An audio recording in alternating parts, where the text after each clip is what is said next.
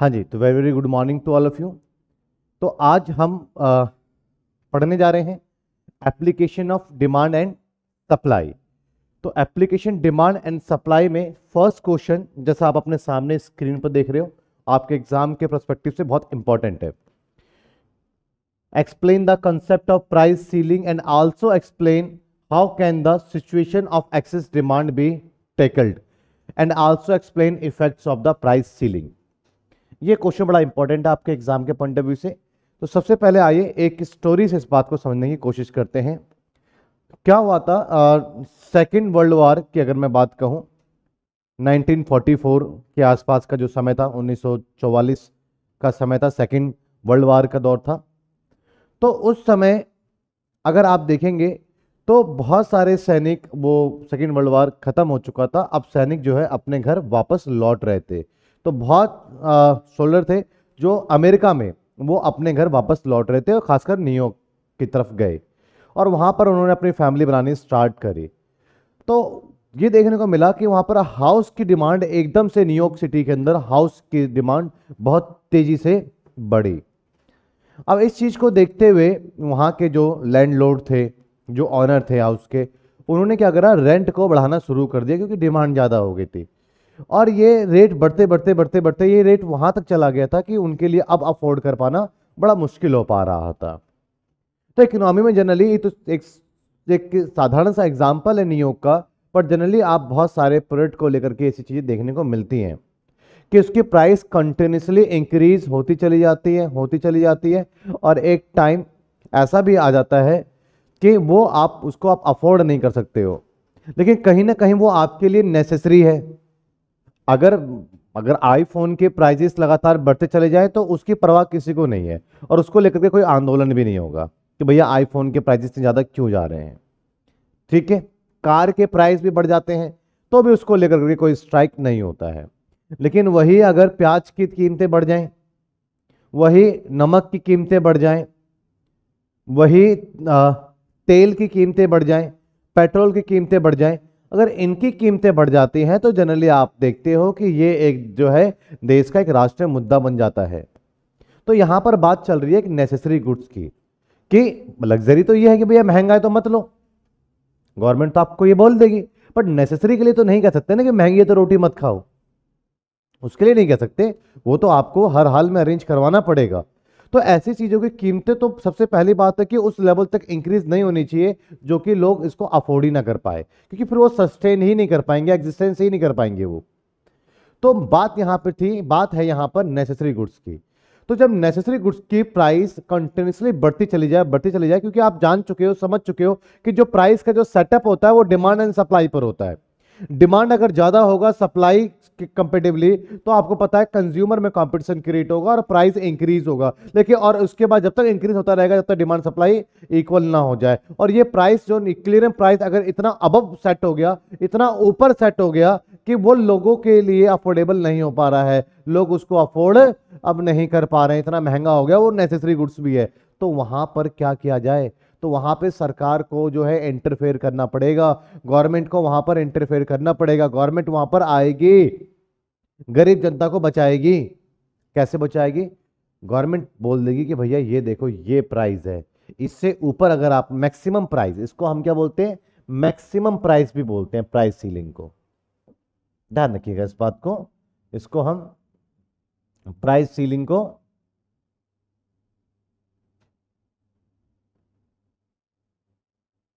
Maximum price भी बोलते हैं। मैक्सिमम का मतलब आपको पता है क्या होता है? मैक्सिमम का मतलब होता है इससे ऊपर नहीं। इससे ऊपर नहीं जा सकते हो, मैक्सिमम। इससे नीचे रह लीजिए, कोई दिक्कत नहीं है। इससे ऊपर नहीं जा सकते हो। ठीक है जी? अगर मैं आपसे कहता हूँ, मैक्सिमम आप सौ रुपए खर्च कर सकते हो। तो इसका मतलब आप दस रुपए भी अलाव है, बीस रुपए भी अलाव है, तीस रुपए अलाव है। बट आप एक सौ एक रुपए खर्च नहीं कर सकते। मेरी बात समझे? क्लियर है? तो मैक्सिमम जो है आपके पास में मैक्सिमम प्राइस, इसे प्राइस सीलिंग भी कहते हैं। तो गवर्नमेंट क्या करती है? कि एक प्राइस अपनी तरह, एक प्राइस सेट कर देती है, आप बोल देती है कि इस प्रोडक्ट की मैक्सिमम प्राइस ये चार्ज होगी। इससे ऊपर अगर किसी ने प्राइस चार्ज कर लिया तो वो इलीगल होगा, उस पर कानूनी कार्रवाई की जाएगी। क्योंकि नेसेसरी गुड्स है तो गवर्नमेंट को तो इंटरफेयर करना ही पड़ेगा। मैं क्या कहना चाह रहा हूँ, मेरी बात को आप जरा समझिएगा। चलिए मार्केट की डिमांड एंड सप्लाई पर अगर चीज़ों को हम छोड़ दें तो क्या परिणाम देखने को मिलेंगे आपको? अगर आप मार्केट की डिमांड एंड सप्लाई की बात कर रहे हैं, एक ग्राफ से समझते हैं इसको हम सबसे पहले। Origin Y axis X axis और यहाँ पर मेरा है प्राइस और यहाँ पर है क्वांटिटी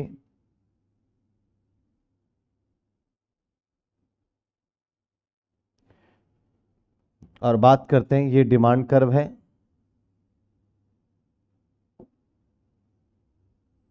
और ये सप्लाई कर्व है। सबसे पहले आप इक्लेरियम सेटअप कर दीजिए। ये पॉइंट है जहाँ पर दोनों इक्वल हैं।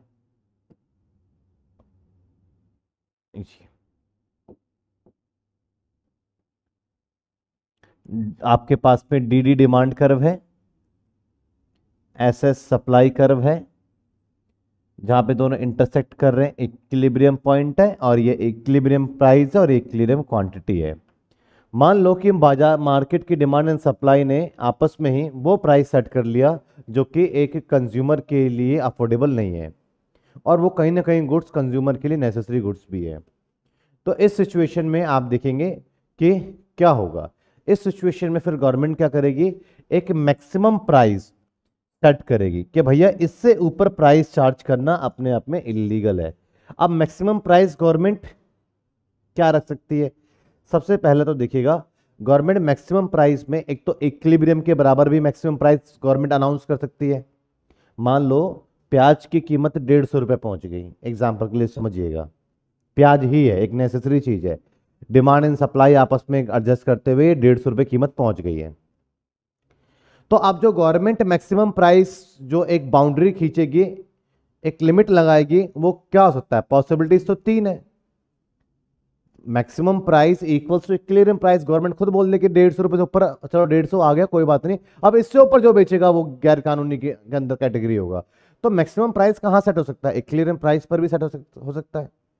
ठीक है ना? तो एक पॉसिबिलिटीज की मैं बात कर रहा हूँ पहले। पॉसिबिलिटीज क्या क्या है?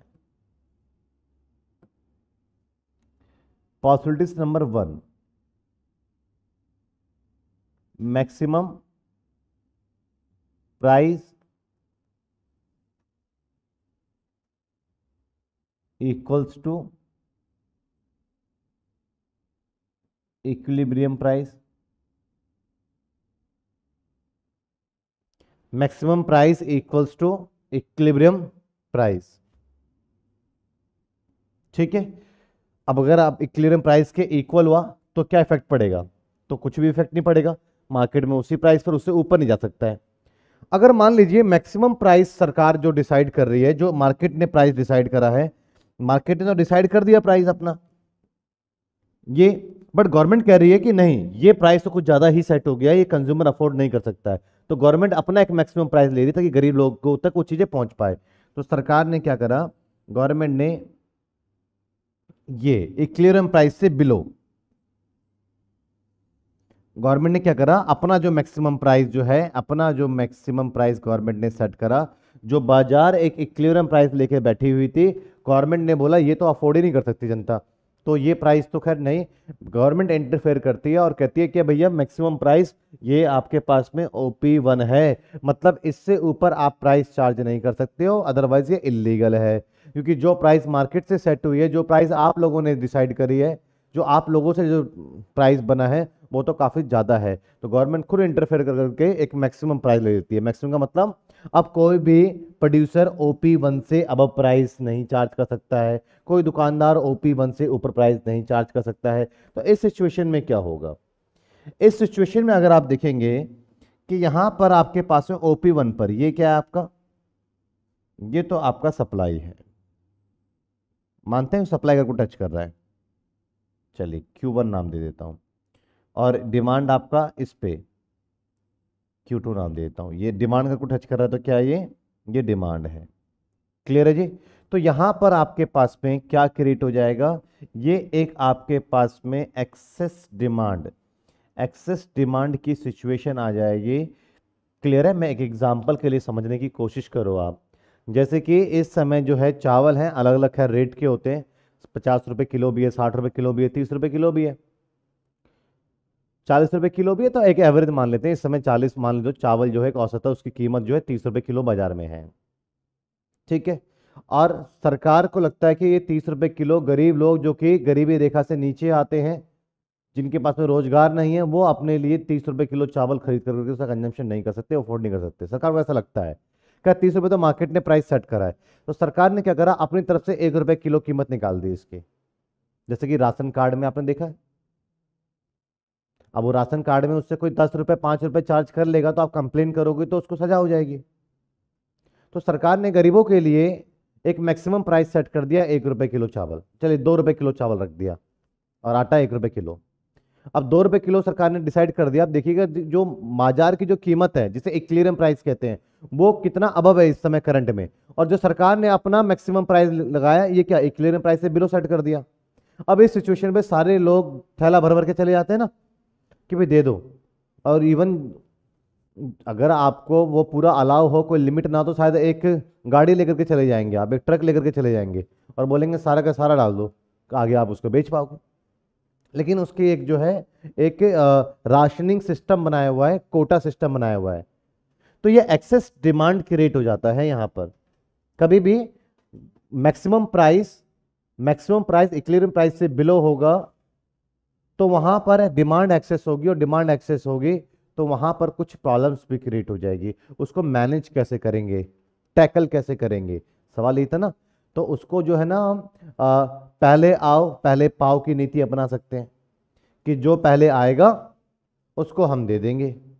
या पॉलिसीज़ पे हम ये भी ला सकते हैं सबसे बढ़िया पॉलिसी तो क्या होती है? कोटा सिस्टम कोटा मतलब कि लिमिट बाँध दिया है सबका कि सबको एक परसेंट पे चार किलो अनाज मिलेगा। अब उसको चार किलो ही मिलेगा चाहे उसकी नीड ज़्यादा है या फिर कम है। वो कम है तो वो कम ले सकता है लेकिन चार किलो से ऊपर की डिमांड करेगा तो वो फुलफिल नहीं होगी। तो इस तरीके से सभी लोगों तक राशन को पहुँचाया जाता है। पहले मेरी बात आप समझे या नहीं समझे? क्लियर है? अब आप कहोगे, सर, सरकार कहाँ से राशन लाती है? मोदी जी को तो कभी खेती करते हुए देखा नहीं है। तो फिर एक इतना सारा अनाज आता कहाँ से जो ये बांटते हैं? अब आपके मन में एक सवाल आ रहा होगा कि, सर, ये कि तीस रुपये किलो खरीदती है सरकार? अब फिर दो रुपये में, एक रुपये में बांटती है गरीब जनता को? नहीं, ऐसा भी नहीं है। क्या होता है? अभी इसका अगला क्वेश्चन आएगा आपका फ्लोर प्राइस मिनिमम प्राइस उसमें आपको इस बात के बारे में बताऊँगा चीज़ें आती कहाँ से। फ़िलहाल आप ये समझिएगा कि आपके पास में यहाँ पर क्या हुआ?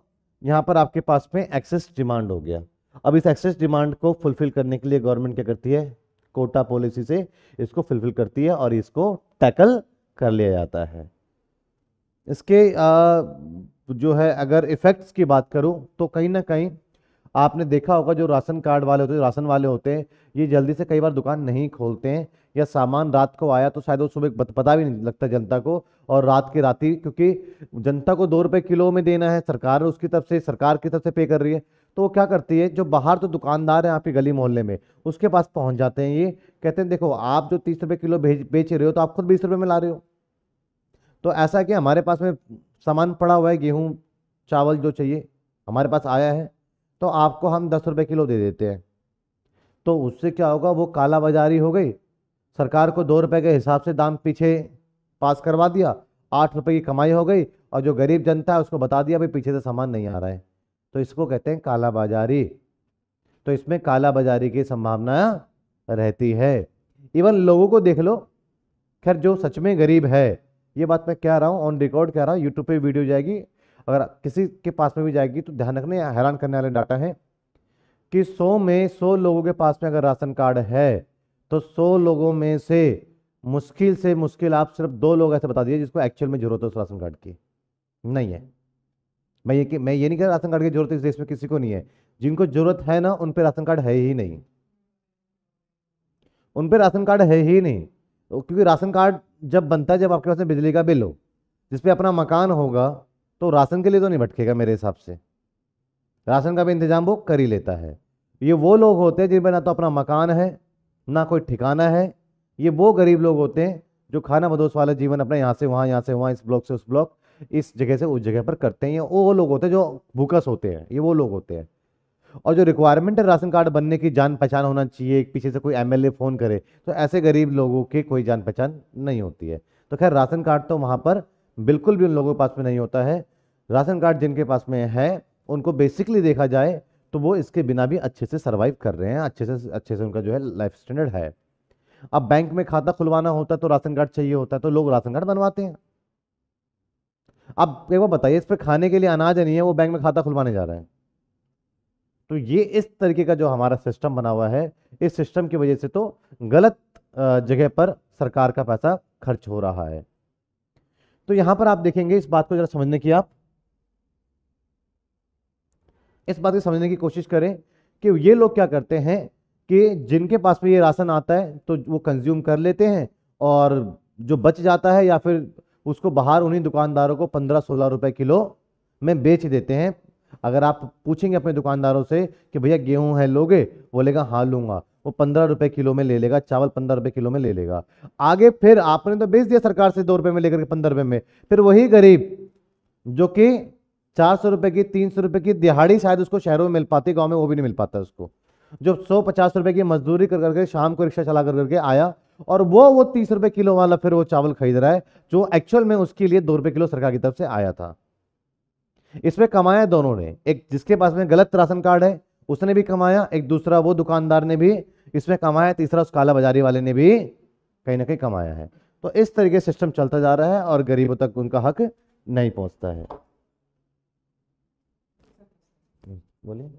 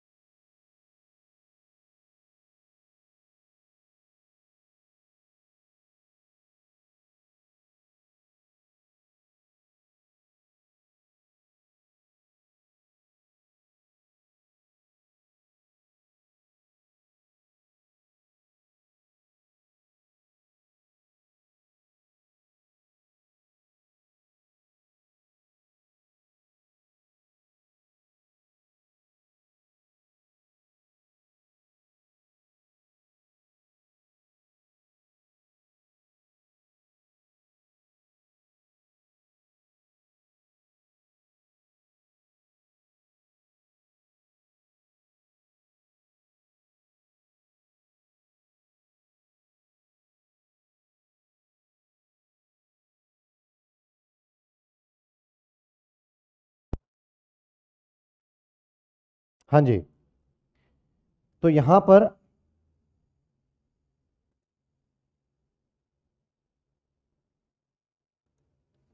तो यहाँ पर कुछ जो मेरा क्वेश्चन ही यही था। मैं ये जो बात चर्चा कर रहा था, मैं कोई टॉपिक से हटा नहीं, मैं चर्चा यही कर रहा था। Explain the concept of price ceiling price ceiling क्या है? तो कोई नेसेसरी गुड्स को लेकर करके अगर उसकी प्राइस कॉन्टिन्यूसली इंक्रीज होगी तो गवर्नमेंट इसमें इंटरफेयर करेगी।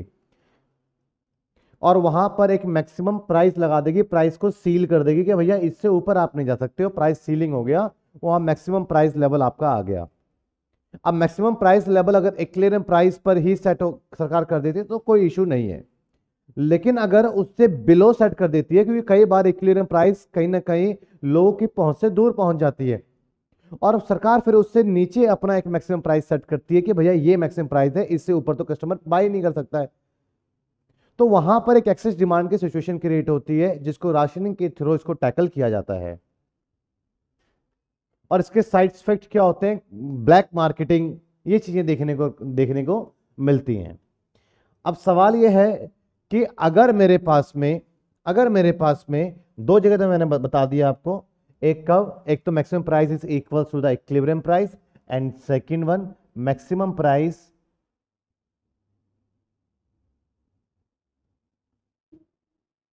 maximum price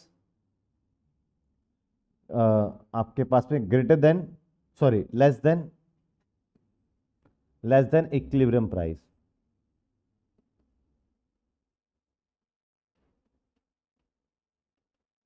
ये इंपॉर्टेंट था। ठीक है जी, दो पॉइंट समझ में आ गया आपको? अब चलिए, अगर मैं ये बात करूँ कि अगर मैक्सिमम प्राइस आपका मैक्सिमम प्राइस, अगर आपका जो सरकार जो प्राइस डिसाइड कर रही है कि वो एक क्लियर प्राइस से ग्रेटर हो तो क्या होगा? मान लो अभी तक तो एक क्लियर प्राइस जो मार्केट ने सेट किया है, वो काफ़ी नॉमिनल सेट किया है। मान लो अगर ऐसा है। पर गवर्नमेंट को आशंका है कि भैया, यहाँ तक तो एक क्लियर प्राइस ठीक है, इसे थोड़ा ऊपर चला जाए तब भी ठीक है, बट उससे ऊपर चला गया तो लोगों के लिए जो है ये तकलीफ़ पैदा कर देगी। तो गवर्नमेंट कई बार क्या कर सकती है? अगर एक क्लिवरम प्राइस हमारा मार्केट का, मैं इसी में बता देता हूँ आपको, खैर, बहुत सारी बुक्स में एक ही डायग्राम में तीनों एक्सप्लेन किया हुआ है। तो यहाँ पर अगर गवर्नमेंट जो है मान लो क्लियरम प्राइस जो है, एक नॉमिनल प्राइस सेट हुआ है और गवर्नमेंट ने इससे ऊपर कोई प्राइस रख दिया मैक्सिमम प्राइस अगर ये गवर्नमेंट रख देती है। तो इस केस में अगर आप देखोगे तो ये आपके पास में डिमांड कर्व है, ये आपके पास सप्लाई कर्व है तो यहाँ पर आप देख पा रहे हो कि आपके पास में एक्सेस क्या होगी। इसमें क्या हो जाएगी?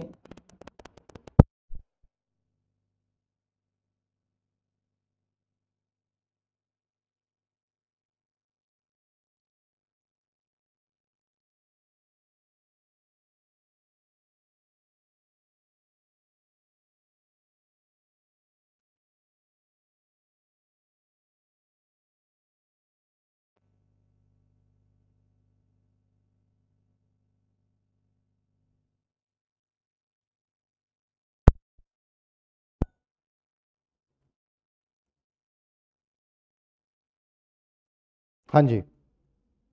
आप बताइए वॉइस आ रही है? आप बताएँ वॉइस आ रही है क्या?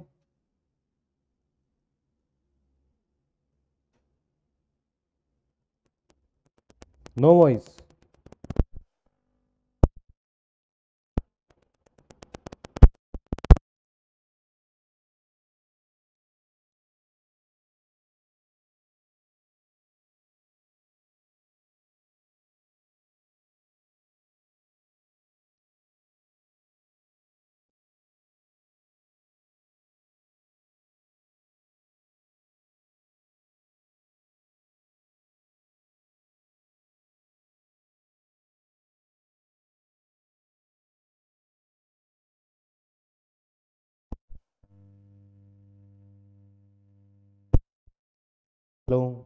hello hello.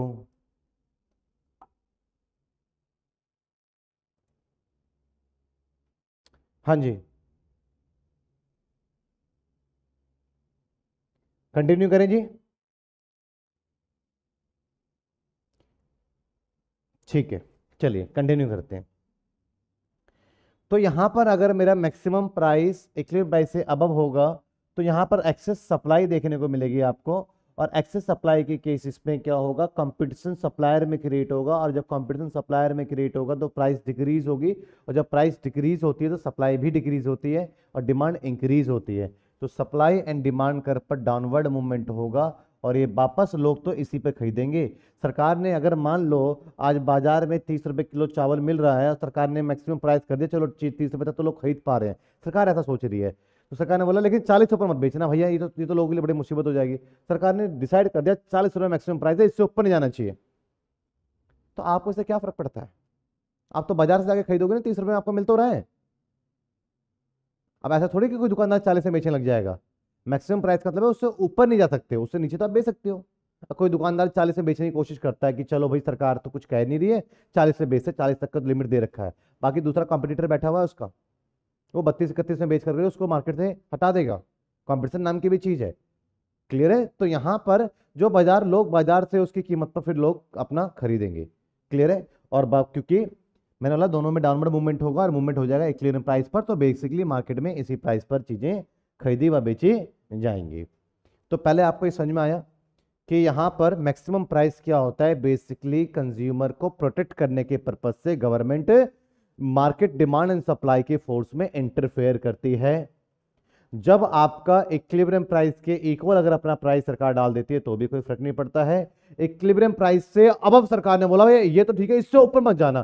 तब भी कोई फ़र्क नहीं पड़ता है। कंज्यूमर उसी रेट पे खरीदता, बेचता है। वो अपने आप ही डाउनवर्ड मूवमेंट हो जाता है। लेकिन जब इक्विलिब्रियम प्राइस से नीचे सरकार ने बोल दिया ये वाले प्राइस पर बेचना है वहाँ पर फिर क्या सीन क्रिएट होता है? वहाँ पर एक्सेस डिमांड क्रिएट हो जाता है और जिसको सरकार राशनिंग के थ्रू कंट्रोल करती है टैकल करती है। तो ये वही बात कह रहा है कि ceiling price more than the equilibrium price खैर, इससे तो फ़र्क नहीं पड़ता। If ceiling price is more than the equilibrium price it will have no effect on the market at a higher price says OQOT quantity of the commodity will be demanded the supplies on the other hand would be waiting in their wings to supply more than the quantity being selling price equals to the equilibrium price तो यहाँ पर भी कोई फ़र्क नहीं पड़ता है if selling price is equal to the equilibrium price op it will leave the market unaffected ये मार्केट को unaffected रखेगा selling price less than the equilibrium price sir यहाँ पे फ़र्क पड़ता है if selling price is the less than the equilibrium price it will create condition which need our future attention suppose in एक figure है भी देखेंगे the government imposes the ceiling at O H per unit the equilibrium price OP would no longer be price must be reduced from OP to OH at the lower price quantity demanded will expanded but at this reduced price supplies will be ready to supply only this quantity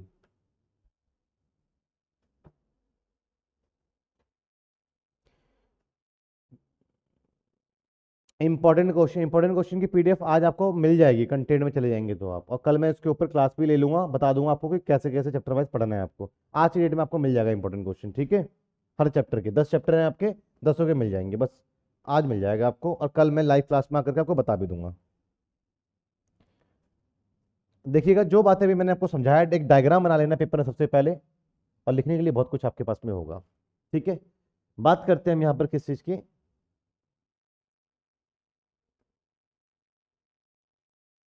अब हम बात करते हैं explain the concept of minimum price minimum price को आपने बहुत सुना भी किसान आंदोलन में।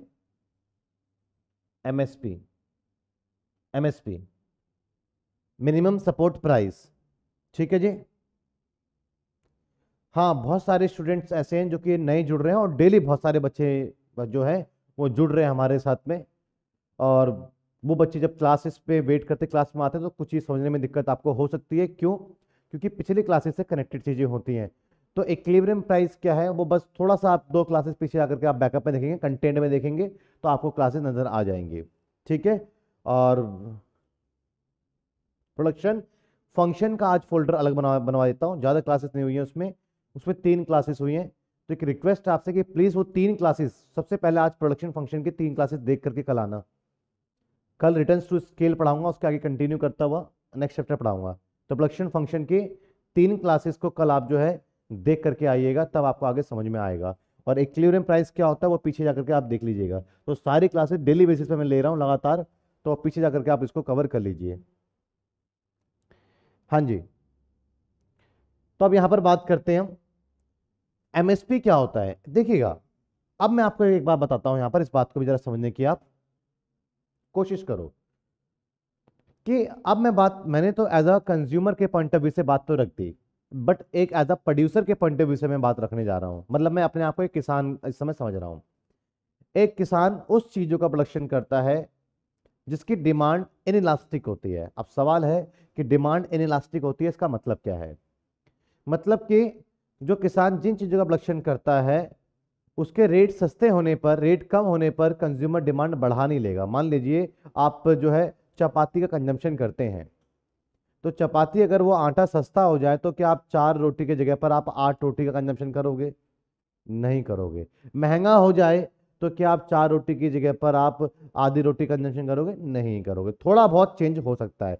सस्ता होने पे थोड़ी सी क्वांटिटी बढ़ा सकते हो और महँगा होने पर थोड़ी सी क्वांटिटी कम कर सकते हो। लेकिन उसको एकदम से बहुत ज़्यादा बढ़ा दोगे या एकदम से बहुत कम कर दोगे, ऐसा नहीं होगा। कहीं ना कहीं आपके लिए एज अ कंज्यूमर के लिए, इन चीज़ों की डिमांड लगभग लगभग पूरे साल कांस्टेंट बनी रहती है। डिमांड में ज़्यादा चेंज देखने को नहीं मिलता है। तो जब किसी चीज़ की डिमांड में ज़्यादा चेंज देखने को नहीं मिल पा रहा है, वो डिमांड पूरा साल ही लगभग लगभग उतना ही कर रहा है तो डिमांड में फ्लक्चुएशन का ना होना चेंज का ना होना इनइलास्टिक कहलाता है। तो जब डिमांड किसी चीज़ की इनइलास्टिक है तो सप्लाई भी उसकी ऑटोमेटिक इन इनइलास्टिक होगी। समझे? क्लियर है? दूसरी बात, सप्लाई इन इलास्टिक का मतलब होता है कि सप्लाई को एकदम से घटाया, बढ़ाया नहीं जा सकता है। सप्लाई उसकी उतनी ही रहेगी कि कल किसान, कल डिमांड ज़्यादा आ गई देश में तो एकदम से रातों रात किसान ने अनाज पैदा कर दिए, नहीं कर सकता है। तो किसान उन चीज़ों का प्रोडक्शन करता है जिसकी डिमांड इन इलास्टिक होती है। मतलब लोग उसकी डिमांड को ना तो बढ़ाएँगे ना तो डिमांड को कम करेंगे डिमांड लेवल पर पूरे साल वैसा ही रखेंगे। इसको बोलते हैं इनइलास्टिक डिमांड अब इसके लिए समस्या क्या आती है किसानों के लिए? किसानों के लिए समस्या तो एक तो ये होती है कि जब फ़सल का पैदावार ना हो, बाढ़ आ गया, सूखा पड़ गया तो वो किसानों के लिए पेनफुल सिचुएशन रहता है, अगर फ़सलें नहीं होती हैं तो। लेकिन अगर फ़सलें बहुत अच्छी हो जाएँ तो वो ज़्यादा पेनफुल रहता है किसानों के लिए। अब वो ज़्यादा कैसे पेनफुल रहता है, ज़्यादा कैसे पैनिक क्रिएट करता है, समझ लीजिएगा आप इस चीज़ को। मैं बात क्रॉप्स की कर रहा हूँ। इस बार क्या हुआ? भगवान की कृपा से सब कुछ अच्छा रहा और सप्लाई बहुत ज़्यादा हुई। लेकिन हमारी डिमांड जो हर साल रहती है, हमने अपनी डिमांड वही करी। मेरी बात समझिएगा। एक किसान गरीब होता है, ज़्यादातर किसान गरीब होते हैं, उनके पास में अपना खुद का मकान मिट्टी का है, वो इसका रख रखाव वो एक पक्के मकान में, एक पक्के गोडाउन में कहाँ से करेगी, उसके पास कहाँ से गोडाउन आया? और जो एग्रीकल्चर से रिलेटेड जो प्रोडक्ट होते हैं, वो प्रोड्यूस जब होते हैं, प्रोडक्शन जब होता है और जब कंजम्पशन होता है, इस बीच में बड़ा गैप होता है। बहुत सारे फ्रूट्स ऐसे हैं कि एक सीज़न में आते हैं, बट कंजम्पशन पूरा साल चलता है। बहुत सारे ऐसे हैं चीज़ें तो जब लक्षण एक, दो, चार, पाँच महीने में ही होता है बट उसका कंजम्पशन पूरा साल चलता है। तो ज़ाहिर सी बात है कि उसका स्टोरेज कहाँ पर होगा? फिर उसको स्टोर करके तो चलाते हैं पूरे साल। इस बात को आप समझिएगा। तो भैया सप्लाई तो भैया ये कर दिया किसान ने बट डिमांड तो अब आपको पता है कि पूरे साल का, पूरे साल पूरे साल के बदले चीज़ तो मैं आज नहीं कंज्यूम कर सकता हूँ। पूरे साल की चीज़ तो पूरे साल भी कंज्यूम करूँगा। कल की चीज़ कल करूँगा, परसों की चीज़ परसों ही कंज्यूम करूँगा, आज उसको स्टोर करके मैं नहीं रख सकता। तो सबसे पहले जो लोग है, जो जनता है, जो पब्लिक है हाँ अगर सोना उसको सस्ता मिले तो सोना उठा करके रख लेगी क्योंकि वो खराब नहीं होगी वो आने वाले समय में उसकी कीमत ही देगी जाएगी। तो अगर सोना मिले सस्ता तो सोना तो उठा करके हम घर में भर लेंगे लेकिन अगर ये आलू टमाटर प्याज अगर सस्ता मिले तो हम इसको उठा के अपने घर में तब भी नहीं भरेंगे क्योंकि खराब हो जाएगी दो तीन दिनों बाद। तो जितनी मेरी नीड आज के कल की मैं वहाँ तक जा करके इस सामान को ला, ला सकता हूँ। तो किसानों का क्या हुआ कि सप्लाई ज़्यादा कर दे डिमांड तो हमारी उतनी ही बनी हुई है। अब जो एक्सेस सप्लाई है अब जो ये एक्सेस सप्लाई है अब ये एक्सेस सप्लाई क्या होगी? क्या इस एक्सेस सप्लाई को खेत में ही खुले आसमान के नीचे छोड़ दिया जाएगा? बताओ। खुले आसमान के नीचे अगर हमने अप, उसको बंडल बना बना कर करके उन फ़सलों का खेत में, जैसे ट्रेन से जाते हैं, देखते हैं ना? बाँध बाँध के खेत में रखे रहते हैं। छोड़ दिया तो क्या होगा? तो एक चीज़ तो ये होगी, सबसे पहले कभी बरसात आ गई कभी बरसात आ गई तो उसकी जो फ़सलें हैं जो उसकी क्रॉप्स है, वो पूरी तरीके से बर्बाद हो जाएगी। तो इसकी कीमत उसको कितनी मिलेगी? इसको जो है, इसकी कीमत उसको ज़ीरो रुपए मिलेगी। चलो, अगर बारिश नहीं भी आए तो कीड़े मकोड़े लग गए, तब वो खराब हो गया। जानवर आकर के उन्होंने इसको खराब कर दिया। बहुत सारे रीजन है। तो एक किसानों के लिए ये ज़रूरी हो जाता है, वो ये चिंता में पड़ जाता है कि जल्दी से जल्दी ये सेल हो जाए। वो सेल करने के लिए इस चीज़ के पीछे पड़ जाते हैं, बेचने के लिए पीछे पड़ जाते हैं। अब जब बेचने की बात करूँ मैं, जब मैं सेल करने की बात करूँ तो सिर्फ़ बात एक ही किसान की नहीं है कि उसको इस बात की चिंता है, क्योंकि फ़सल एक मौसमी होता है। अगर उस फ़सल का पैदावार हुआ तो पूरे राज्य में उस फ़सल का पैदावार हुआ है। राज्य का हर किसान ये बात सोच के बैठा हुआ है, उसको जल्दी जल्दी बेचना है। बट कंज्यूमर ऐसा है कि उसको लेने का नाम नहीं लेगा। अगर उसको अगले महीने का कंजम्पशन वो अगले महीने खरीदेगा, इस महीने वो नहीं खरीद सकता है। जितनी आज की ज़रूरत होगी, उतना ही लेगा। तो एक्सेस सप्लाई कहाँ जाएगा फिर? फिर एक आते हैं मीडिएटर जो कि क्या करते हैं? गाँव के साहूकार। ये क्या करते हैं? ये किसानों से इन फ़सलों को खरीद लेते हैं और अपने पास में स्टोर रख लेते हैं और जैसे जैसे लोगों को नीड होती है वैसे वैसे लोगों को बेचते चले जाते हैं। अब लेकिन उनके उस समय उनकी, जो मीडिएटर हैं, ये जो बिचौलिए हैं इनके पास में सभी किसान लाइन लगा के खड़े हो जाते हैं कि भैया हमारा प्रोडक्ट ले लो, वो खुले आसमान के नीचे पड़ा हुआ है, बारिश होगी तो बर्बाद हो जाएँगे। अब जो मीडिएटर है, उसके पास में इतने सारे लोग बेचने के लिए आए हुए हैं, लाइन लगी हुई है, धक्का धुक्की कर रहे हमारा प्रोडक्ट हमारा ले लो, हमारा फ़सल ले लो। अब वो मीडिएटर क्या करेगा? अब उसकी, वो बोलेगा पर मेरे पास में इतना स्टोरेज नहीं है, मैं इसकी कीमत नहीं दे पाऊँगा, मैं कीमत कम लूँगा। तो वो कहीं ना कहीं कौड़ियों के भाव उन चीज़ों को खरीदने की कोशिश करता है। किसान को, कौड़ी के भाव मिल तो रहे अगर वो नहीं भी किसान बेचेंगे तो वो ज़ीरो का भाव चला जाएगा। तो इससे अच्छा कि कौड़ी के भाव मिल जाए। तो इस चीज़ का फ़ायदा उठा कर करके वो साहूकार ये जो मीडिएटर होते हैं ये किसानों से बहुत सस्ते में पाँच रुपये किलो चार रुपये किलो फ़सल उठा लेते हैं। और इसको उठा कर करके शहरों में इसको फिर पच्चीस तीस रुपये किलो बेचते हैं। तो जिसने पूंजी लगाई जिसने मेहनत की जिसने सब कुछ किया, जिसने रिस्क उठाया, बर्बाद होता तो उसी का तो बर्बाद होता। जो रिस्क उठा रहा है, जो पूंजी भी लगा रहा है और जो मजदूरों की तरह वहाँ पे मेहनत भी कर रहा है, उसको उसको पाँच रुपए मिले, जिसमें से उसकी लागत भी है, और जिसने ऐसा कुछ भी नहीं किया, सिर्फ़ स्टोर करके रख रख लिया, उसको उसके पच्चीस रुपए कीमत मिल गई। तो ऐसा माना जाता है कई बार किसान की जो प्रोडक्ट है, उसकी कीमत कई बार उस तक नहीं पहुँच पाती है, कई बार के जनरली उस तक नहीं पहुँच पाती है। तो इसलिए इनका जो है, इनके प्रोडक्ट का जो है, कौड़ियों का भाव लिया जाता है, जिससे कि इनको भारी भरकम नुकसान होता है और नुकसान होता कब है? जब ज़्यादा सप्लाई होती है। तो दुनिया तो ये उम्मीद करती है कि भैया सप्लाई अच्छा होगा तो ज़्यादा कमाएँगे। एक तो नहीं होगा तो बर्बाद है, अगर हो गया तभी बर्बाद है। तो किसान के लिए तो आगे कुआँ पीछे खाने वाली सिचुएशन बनी हुई है। अब एक किसान अगर इस सिचुएशन में रहेगा तो कोई किसान अपने बेटे को कल के दिन किसान नहीं बनाएगा तो देश में कहीं ना कहीं इन चीज़ों की उत्पादन की कमी अगर आ गई तो आपको पता कि फिर हमें निर्भर रहना पड़ेगा दूसरे देशों पर। तो सरकार को कहीं ना कहीं किसान के प्रोडक्शन के लिए कंज्यूमर के प्रोडक्शन के लिए नहीं फार्मर के प्रोडक्शन के लिए अब यहाँ पर इंटरफेयर करना पड़ेगा और कोई रास्ता नहीं है। तो सरकार अलग अलग तरीके से इंटरफेयर करती है। सरकार हो सकता है कि अपने खुद के गवर्नमेंट गोडाउन बना दे जो कि बहुत नॉमिनल चार्जेस किसान से लेकर करके उनके माल को अपने पास में स्टोर रखे। बट कहीं ना कहीं गवर्नमेंट आपको पता है कि गवर्नमेंट एक तरीके से आ, इतना एफिशिएंट नहीं होती है किसी भी बिज़नेस को करने में। मैनेजमेंट स्किल उनका काफ़ी वीक होता है। तो गवर्नमेंट इन चीज़ों को नहीं चला पाएगी, वो फॉर्मेलिटीज़ में ही चीज़ों को ज़्यादा लपेट देगी और किसान कहीं ना कहीं चीज़ को नहीं कर पाएगी। तो उसको गोडाउन गवर्नमेंट नहीं प्रोवाइड करवा सकती है और रातों रात गोडाउन बन नहीं जाएँगे पूरे भारत में। तो सालों साल तक किसान मरते ही रहेंगे ऐसे। तो गवर्नमेंट क्या करती है? एक चीज़ लेकर के आती है मिनिमम सपोर्ट प्राइस अगर गवर्नमेंट ने बोल दिया कि भैया जो आपका जो वीट है मिनिमम सपोर्ट प्राइस। गौर, जिसको कहते हैं एम एस पी। गवर्नमेंट ने बोल दिया कि आपके वीट को हम लेंगे पंद्रह रुपए किलो। भूल जाओ साहूकारों को, भूल जाओ मीडिएटर को। हम तैयार हैं। आपके ज़िले में, आपके शहर में एक हम खुद की अपनी मंडी लगाते हैं, जहाँ पर आप आओ अपना सामान लेकर करके और हमें आप बेचो। और हम पंद्रह रुपए कीमत आपको आपके प्रोडक्ट की देगा। अब कोई साहूकार आपसे बोल दे कि दस रुपए में मैं खरीद रहा हूँ तो क्या आप उसको बेचोगे? आप सीधा क्या करोगे? बैलगाड़ी का सामान ला दोगे और अपने जिला के उस जगह पर जाओगे जहाँ पर सरकार ने मंडी लगा रखी जो खरीदने के लिए सरकारी कर्मचारी बैठे हुए हैं, फ़ूड कॉरपोरेशन ऑफ़ इंडिया, जहाँ पर ये काम करती है। तो आप उठाओगे, वो बोलता रह जाएगा, साहूकार बारह रुपए में तेरह रुपए, चौदह रुपए, आप सीधा बाय बाय करते हुए अपने सामान को लेकर निकल जाओगे। और किसानों को बेच दोगे। तो किसानों को प्रोडक्शन मिला, नहीं मिला? जो चीज़ की पाँच रुपए की जा रही थी, आज वो पंद्रह रुपए। अब अगर किसी साहूकार को आपसे आपका सामान लेना है तो उसको पंद्रह रुपए से ऊपर ऑफ़र करना पड़ेगा। तब जाकर के वो किसान उसको देने के लिए तैयार होगा कि सरकार पंद्रह में खरीद रही है, भैया तू अठारह में लेता तो मैं तेरे को बेच देता हूँ। समझे? तो कहीं ना कहीं किसानों को उसकी कीमत जो है अब मिल रही है। तो किसानों को सपोर्ट करने के लिए मिनिमम सपोर्ट प्राइस।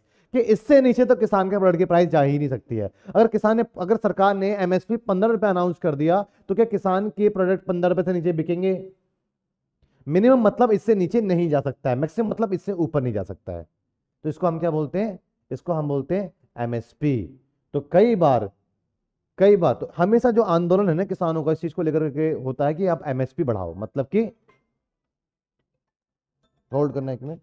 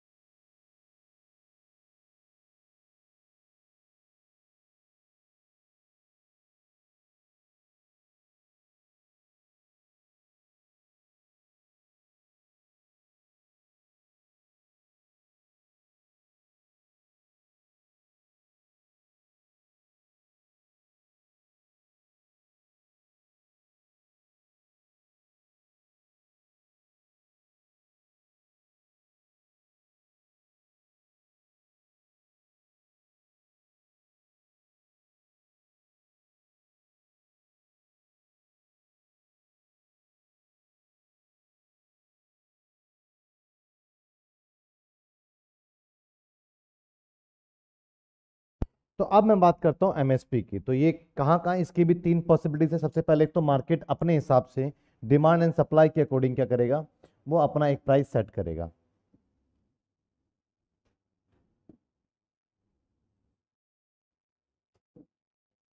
ये ओरिजिन हो गया। मार्केट पहले अपना, अपने अकॉर्डिंग प्राइस सेट करता है। तो देखते हैं मार्केट कहाँ सेट करता है। ये हमारे पास में डिमांड है और ये मेरे पास में सप्लाई है। और ये मेरे पास में ओरिजिन है और मार्केट ने ये इक्लेरियम क्वांटिटी और ये इक्लेरियम प्राइस, ये वाई एक्सिस है ओ एक्सिस है और ये एक्स एक्सिस है। मार्केट ने ये प्राइस सेट करा। गवर्नमेंट को लगता है कि ये प्राइस जो मार्केट ने सेट किया है, ये प्राइस इससे बिलो अपना मिनिमम सपोर्ट प्राइस गवर्नमेंट ले आती है। मतलब बाज़ार में चीज़ें तीस रुपए के लिए बिक रही हैं, बस सरकार कह रही है कि हमें भेज दो, हम बीस रुपए में तुम्हारा सामान खरीदने के लिए तैयार हैं। तो सबसे पहले तो तीन सिचुएशन है। एक अगर इक्विलिब्रियम प्राइस के इक्वल रहा तो कोई फ़र्क नहीं पड़ेगा एमएसपी ठीक है? एमएसपी बाज़ार इसी कीमत पे खरीदेगी, बेचेगी। अगर इससे नीचे रखा एमएसपी सरकार सरकार कहती है कि भैया, ये तीस रुपए मार्केट ने डिसाइड कर लिया। सरकार क्या कहती है कि मिनिमम सपोर्ट प्राइस हम आपका सामान पंद्रह रुपए में खरीद लेंगे। हम आपका सामान पंद्रह रुपए में खरीद लेंगे मतलब गवर्नमेंट इस चीज़ की डिमांड कर रही है, हमें दे दो। तो भी कोई सरकार को नहीं बेचेगा मार्केट में चीज़ें इसी रेट पर बिकती चली जाएँगी। जब आपका साहूकार तीस रुपये में ले रहा है सरकार वहाँ पंद्रह रुपये में बैठी हुई है लेने के लिए आप क्यों जाओगे तुम? समस्या आपके सामने, समस्या तो खैर नहीं कहेंगे। वो समय सरकार बेसिकली एमएसपी अप्लाई कब करती है? एमएसपी अप्लाई जब करती है गवर्नमेंट जब वो इस चीज़ को देखती है कि जो मार्केट में जो इक्लेवरम प्राइस सेट हुआ है ना, वो काफ़ी लो सेट हुआ है। किसानों को जो मिलना चाहिए, उससे काफ़ी नीचे ही डिमांड सप्लाई ने क्या करा? प्राइस को सेट कर दिया है। बट ये तो किसानों के लिए नुकसानदायक है तो। सरकार अपना एमएसपी लेकर के आती है कि भैया, हम आपसे ये प्राइस ले लेंगे।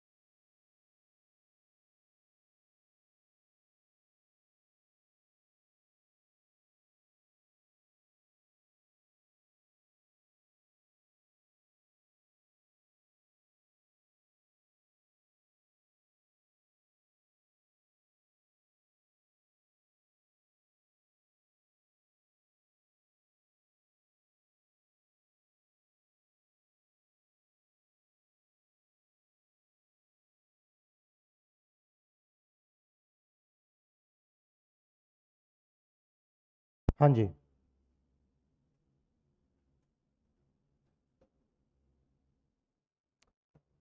वो पॉलिसी क्या है उसके बाद में बात करेंगे हमारे टॉपिक से रिलेटेड नहीं है बट फिर भी आप डिस्कशन चाहेंगे तो मैं इस पर ज़रूर करूँगा, ताकि क्लियरिटी आ जाए।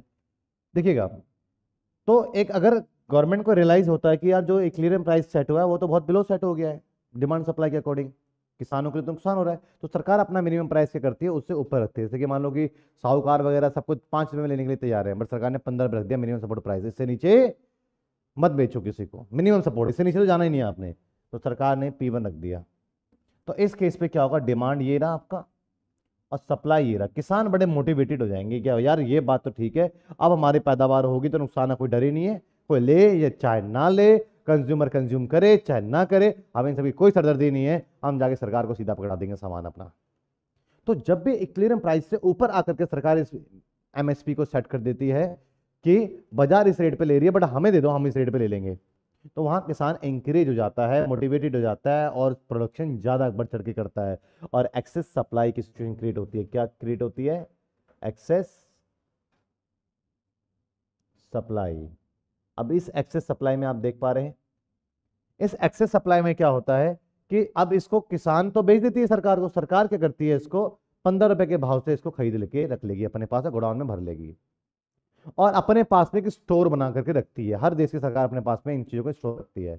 अब इसी अनाजों को गरीबों तक, गरीब, गरीबों तक राशन कार्ड के थ्रो या किसी आपदा आने पर या जैसे कोविड आने पर फ्री में राशन बांट दिया, सरकार ने सभी को, चाहे राशन कार्ड हो या ना हो तो इस सिचुएशन में सरकार इन अनाज का इस्तेमाल करती है और अपने पास में इसको स्टोर कर करके गवर्नमेंट रखती है। इससे किसानों का भी भला, गरीब लोगों का भी भला। तो जो भी सवाल था ना हमारा, जो गरीबों को राशन कार्ड से राशन मिलता है और राशन कहाँ से मिलता है? तो सरकार ये एमएसपी कर करके किसानों से सामान ले लेती है और इसी सामान गरीबों तक पहुंचाती है। क्लियर है जी? तो बेसिकली क्या है कि जब हमारा एमएसपी क्लियरिंग प्राइस से अबव होगा तो एक्सेस सप्लाई को गवर्नमेंट स्टोर करके रख लेगी और गरीबों के जो है, गरीब जनता के वेलफेयर के लिए इसका इस्तेमाल करेगी। क्लियर है जी?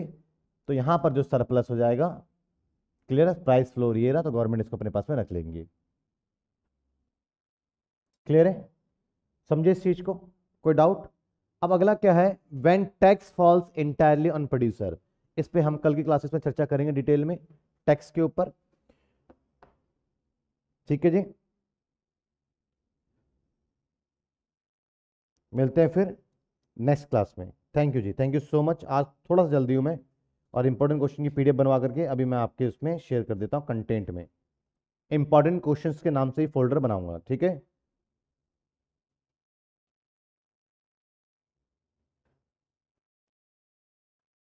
और वीडियो थोड़ा सा आप अपने ग्रुप्स वगैरह में शेयर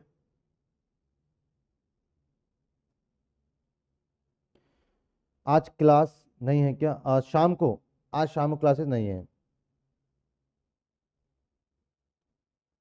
ठीक है जी, मिलते हैं फिर नेक्स्ट क्लास में। Thank you ji thank you so much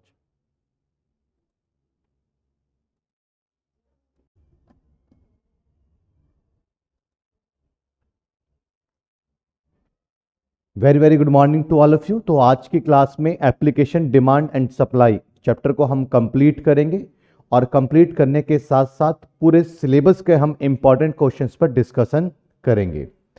तो इंपॉर्टेंट क्वेश्चंस पे हम आएँगे, लेकिन उससे पहले हम इस चैप्टर को पहले कंप्लीट करते हैं। जैसा आप अपने सामने देख पा रहे हैं कि क्वेश्चन ये है when tax falls entirely on producer देखिएगा, क्या होता है कि गवर्नमेंट जो है इनडायरेक्ट टैक्स लगाती है गुड्स एंड सर्विसेज़ पर। सबसे पहले आपको यह समझना होगा कि इनडायरेक्ट टैक्स किसे कहते हैं। वो टैक्स जो लगता किसी और पर है और इसको अफोर्ड कोई और करता है। जैसे फॉर एग्ज़ाम्पल आप मूवी देखने अगर कभी गए हैं तो जो सिनेमा हॉल की टिकट पे भी टैक्स होता है। तो टैक्स लगा किस पर और उसको अफोर्ड किसने किया? इसको हम बोलते हैं इनडायरेक्ट टैक्स लेकिन जैसे कि इनकम टैक्स हो गया, वो मेरी इनकम पर लग रहा है तो उसको अफोर्ड भी मैं ही करूँगा।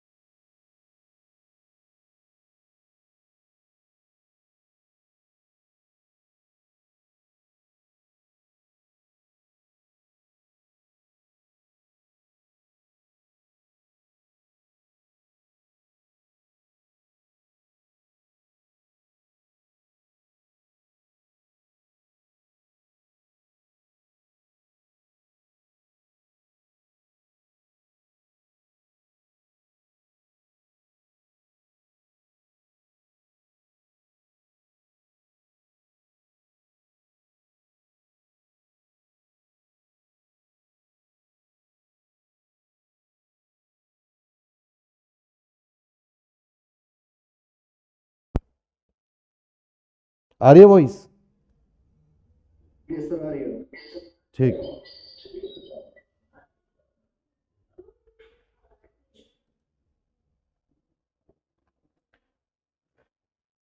चलिए कंटिन्यू करते हैं।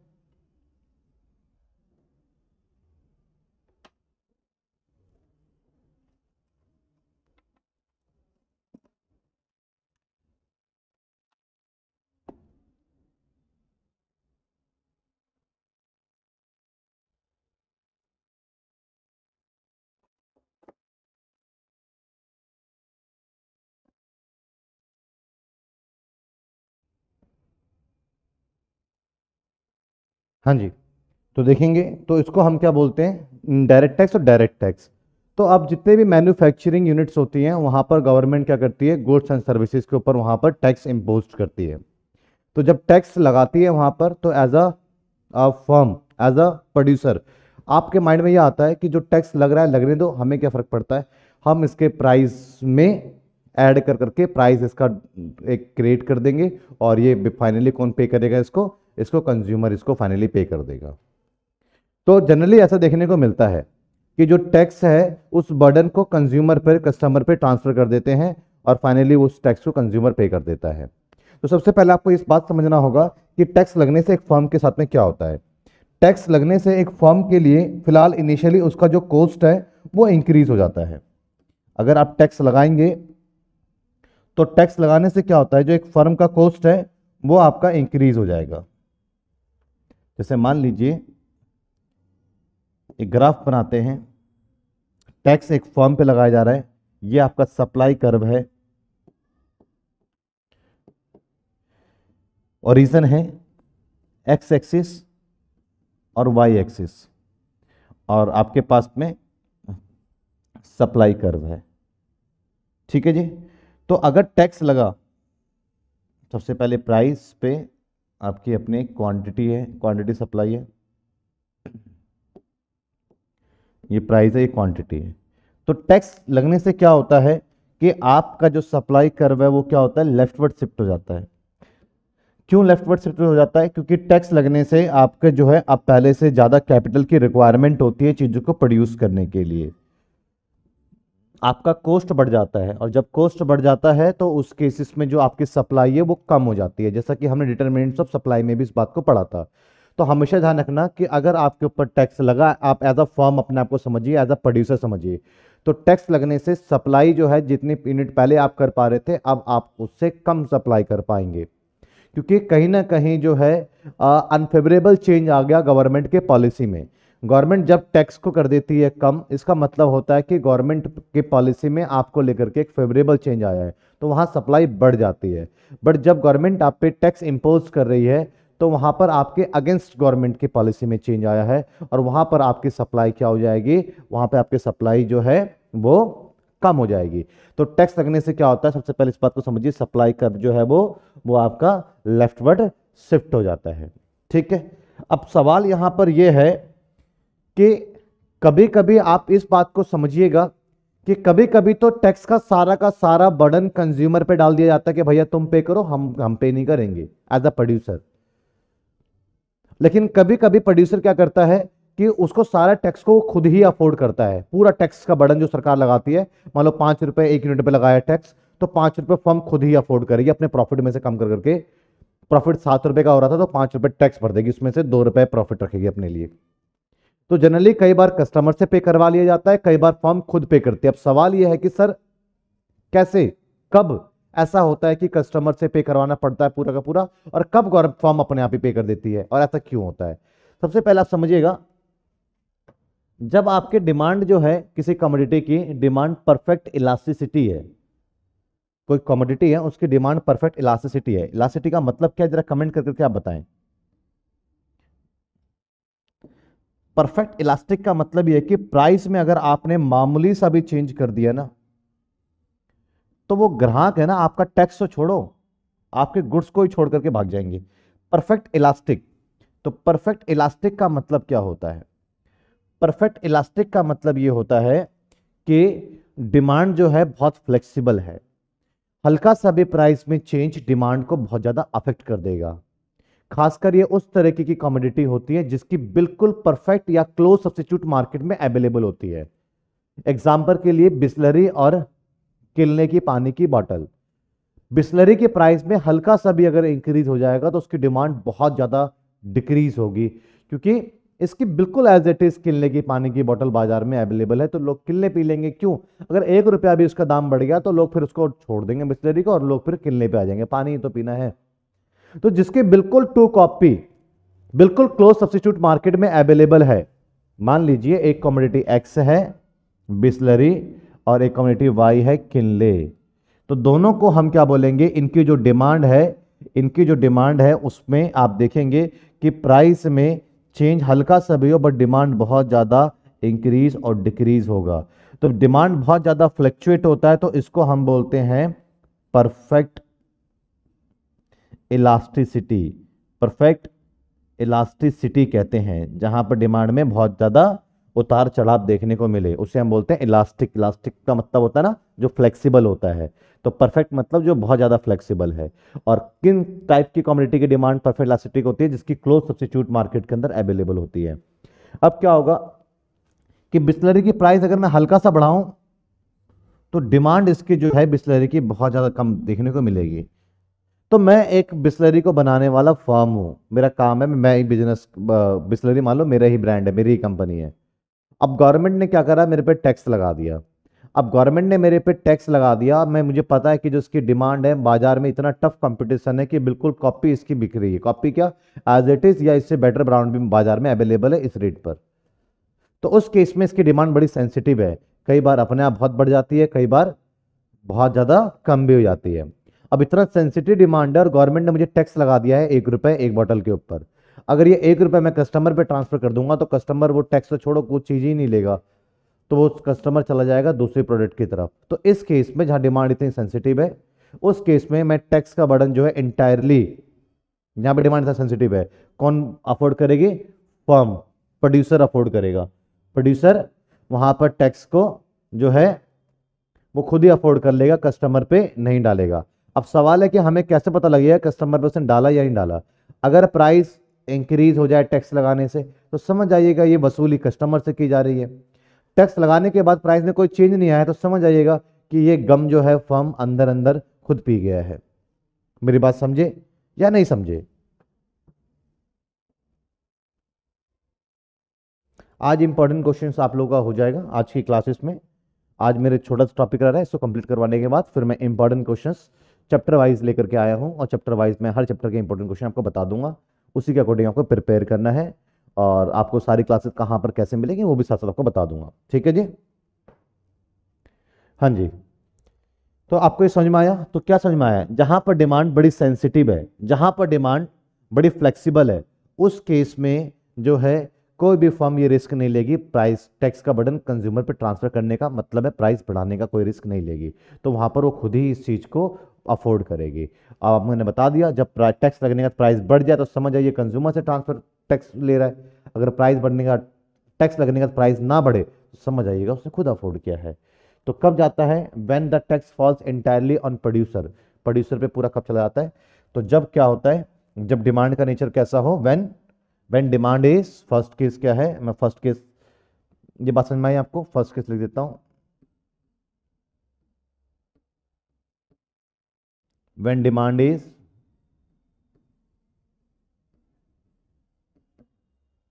Perfect elastic.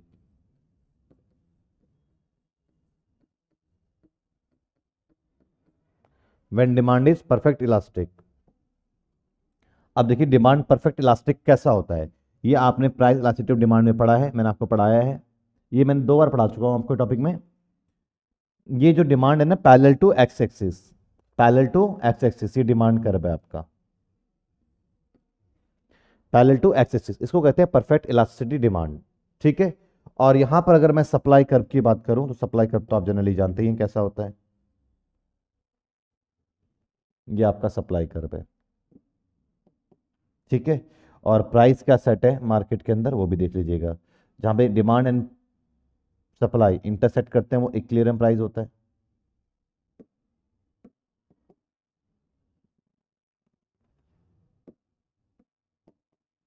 तो आपको पता लग गया कि इक्विलिब्रियम प्राइस क्या है? ये बाज़ार में प्राइस इसकी सेट हुई पड़ी है। ये इक्विलिब्रियम पॉइंट है। और ये इक्विलिब्रियम प्राइस है और डिमांड कर भी है। अब क्या हुआ इस केस में? डिमांड है परफेक्ट इलास्टिक नेचर की। मतलब कि डिमांड में चेंजेस जो है, वो काफ़ी ज़्यादा देखने को मिलता है। ठीक है? तो यहाँ पर जैसे ही मैं टैक्स लगाता हूँ, इसलिए मैंने डिमांड कर्व कैसा बना दिया? एक इस शेप का बना दिया। अब जैसे ही मैं टैक्स लगाऊँगा तो सप्लाई कर में क्या चेंज आएगा? बताइए। पहले एक बार बताओ मुझे, जब डिमांड बहुत सेंसिटिव है डिमांड परफेक्ट इलास्टिसिटी है तो जो गवर्नमेंट आप एक ऐसे प्रोडक्ट के सप्लायर हो, एक, आप एक ऐसे प्रोड्यूसर हो जिसका प्रोडक्ट बहुत सेंसिटिव डिमांड है उसकी। डिमांड बहुत ज़्यादा अप्स एंड डाउन रहते हैं। तो अगर आपके ऊपर एज अ गवर्नमेंट मैंने टैक्स लगा दिया तो क्या आप इस टैक्स के बर्डन को कंज्यूमर पे ट्रांसफ़र करोगे? मेरा कहने का मतलब है, क्या प्राइस आप इंक्रीज करोगे? ऐसा करोगे? आप बिल्कुल भी ऐसा नहीं करोगे क्योंकि इससे आप कंपटीशन में बहुत पीछे रह जाओगे मार्केट के अंदर। तो वो आप खुद अफोर्ड करोगे, इसका मतलब है कि प्राइस में कोई चेंज करने का इरादा नहीं है टैक्स लगने के बाद भी। यही मतलब है। चलिए, देखते हैं क्या क्या ऐसा हो रहा है। परफेक्ट इलास्टिक नेचर का है और टैक्स लगा दिया सप्लाई कर तो भैया लेफ़्ट फट जाएगा। ये किसी से नहीं पूछेगा कुछ भी। चलिए, ये चला गया। अब डिमांड कर्व सप्लाई कर्व कहाँ पे इंटरसेक्ट कर रहे हैं? ये यहाँ इंटरसेक्ट कर रहे हैं। तो इंटरसेक्ट कर रहे हैं तो आप देखिएगा सप्लाई तो कम हो गई। क्यू से क्यू वन पर आ गए। सप्लाई तो कम होगी टैक्स लगने से बट प्राइस में कोई चेंज आया? प्राइस में कोई चेंज नहीं आया। इसका मतलब क्या है कि इस केस में आपको एक बात दिख रहा है कि टैक्स लगने के बाद भी सप्लाई कर्व लेफ्टवर्ड शिफ्ट हो गया, लेकिन प्राइस में कोई भी चेंज नहीं आया। इसका मतलब यह है कि भैया टैक्स का बर्डन प्राइस पर नहीं डाला गया है। कंज्यूमर अफोर्ड नहीं करेगा। इंटायरली इसको प्रोड्यूसर अफोर्ड कर लेगा। किस केस में? जब आपका डिमांड का स्वभाव कैसा है, आपका परफेक्ट इलास्टिक नेचर का है। क्लियर है जी? कोई डाउट किसी बच्चे को तो डाउट पूछ लीजिए। चलिए अब आगे बढ़े। एक और केस है। एक एक सिचुएशन में और पूरा का पूरा प्रोड्यूसर इसको अफोर्ड करता है। ये बात समझ में आपको आई या नहीं आई? पहले बताइए। जब सप्लाई क्या होती है? परफेक्ट इनलास्टिक होती है। When when supply is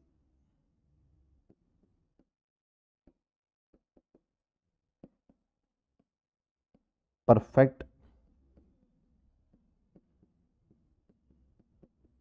inelastic. इस सिचुएशन में भी परफेक्ट इनइलास्टिक का मतलब ये हो गया कि सप्लाई में कोई चेंज आ ही नहीं सकता है। सप्लाई में कोई चेंज आएगा ही नहीं। इसे कहते हैं perfect inelastic.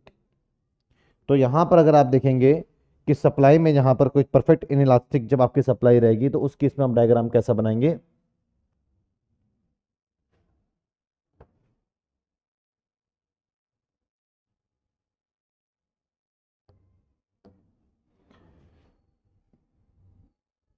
Second case discuss कर रहा हूँ। परफेक्ट इनलास्टिक सप्लाई मतलब परफेक्ट इनलास्टिक में ऐसा रहता है सप्लाई कर ठीक है? और डिमांड कर तो आप जानते हैं, मैं सप्लाई की बात कर रहा हूँ डिमांड कर तो फिर जनरली ऐसा ही रहेगा।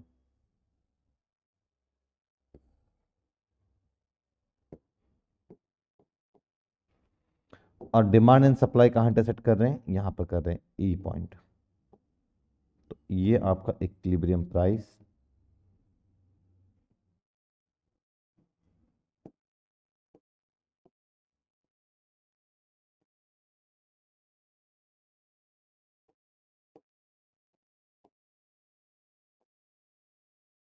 origin Y axis X axis price, quantity, ठीक है, क्लियर है? और यहाँ पर हमारे पास में क्या है? ये एक क्लियरिंग पॉइंट है और ये मेरे पास में डिमांड कर्व है, ठीक है? अब देखिए, परफेक्ट इनलास्टिक सप्लाई है तो बताइए, परफेक्ट इनलास्टिक का मतलब ये होता है कि भैया कुछ भी कर लो, प्राइस कितना बढ़ा लो, घटा लो सप्लाई सप्लाई में कोई भी चेंजेस नहीं हो फॉर्म की। तो इस केसेस में भी अगर आप देखेंगे कि जब आप गवर्नमेंट ने टैक्स लगाया तो सप्लाई कर तो लेफ्टवर्ड इस बार आएगा ही नहीं। सप्लाई कर तो इस बार लेफ्टवर्ड आएगा ही नहीं क्योंकि परफेक्ट इनलास्टिक है तो फिर भी प्राइस क्या रहेगी? सेम प्राइस रहेगी। तो मतलब यहाँ पर भी प्रोड्यूसर ही टैक्स को क्या करेगा? अफोर्ड करेगा।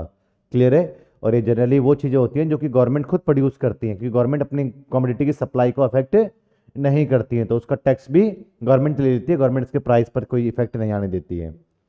तो दूसरा केस सिंपल आप समझिएगा, जब आपकी सप्लाई परफेक्ट एंड इनलास्टिक होगी इस तरीके से तो टैक्स लगने के बाद इस बार ये लेफ्टवर्ड शिफ्ट नहीं होगा। ठीक है?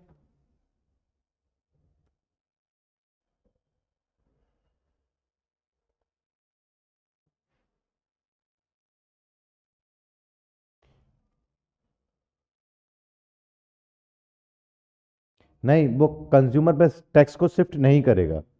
जब परफेक्ट इन इलास्टिक है तो सप्लाई में कैश कोई चेंज वो करने वाला है ही नहीं।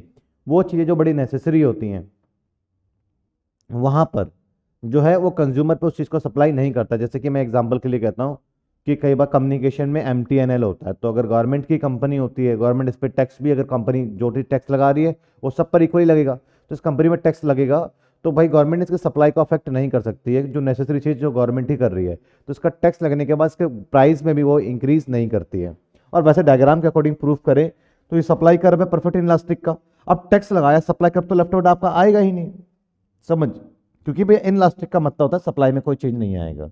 यही सप्लाई रह गया डिमांड आपका यही है। तो आपका प्राइस जो पहले था, वही क्लियरिंग क्वांटिटी भी उसकी वही रहेगी। तो सरकार उसको उतना ही सप्लाई करती रहेगी, उसी रेट पर सप्लाई करती रहेगी टैक्स का बटन वो खुद ही अपने जेब पे टैक्स लगा करके खुद ही अपने आप से पैसे ले लेगी। उससे कोई फ़र्क नहीं पड़ता है।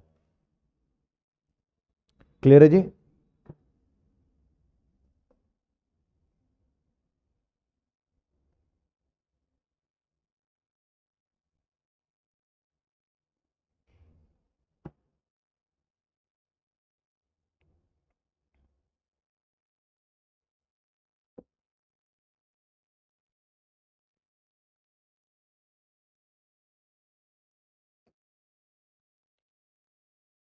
डन अब देखिएगा, अब सवाल क्या मेरा? When tax falls entirely on consumer किस सिचुएशन में टैक्स पूरी तरीके से कंज्यूमर पर ट्रांसफ़र कर दिया जाता है? किस सिचुएशन में? टैक्स पूरी तरीके से कंज्यूमर पर ट्रांसफ़र कर दिया जाएगा। सवाल अब यह है। तो देखिएगा, आप जरा सोचिए, बताएँ। उस पर केस वन में क्वांटिटी डिक्रीज होने पर क्या इफ़ेक्ट पड़ेगा? कोई इफ़ेक्ट नहीं पड़ेगा। जनरली टैक्स लगने से क्वांटिटी सप्लाई पहले से कम हो जाती है। टैक्स लगने से कॉस्ट बढ़ जाता है, जिसकी वजह से वो जो है सप्लाई को पहले कंपेटिवली क्या कर पाते हैं? कम कर पाते हैं। या फिर जो फर्में होती हैं, कुछ फर्में इस सिचुएशन में आ जाती हैं कि भैया वो गवर्नमेंट पे वो कस्टमर पे पैसा ट्रांसफ़र भी नहीं कर सकती हैं टैक्स का बर्डन और खुद ही अफोर्ड करना पड़ेगा, कहीं ना कहीं उसको इतना प्रॉफिट नज़र नहीं आता, वो शिफ्ट कर देता है दूसरी कम्युनिटी की तरफ़ सप्लाई पे। तो वहाँ पर क्या हो जाता है कि वहाँ पर उसका जो है सप्लाई मार्केट बाज़ार में कम हो जाती है। वो एक्स फर्म की जगह वो वाई फर्म में इन्वॉल्व हो जाता है। तो बेसिकली टैक्स लगने से तो नेगेटिव इंपैक्ट पड़ता है ये सप्लाई के ऊपर। सप्लाई आपका कम होगा ही होगा।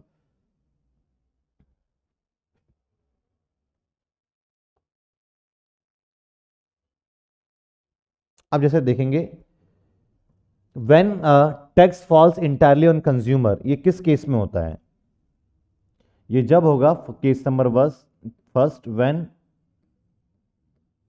demand is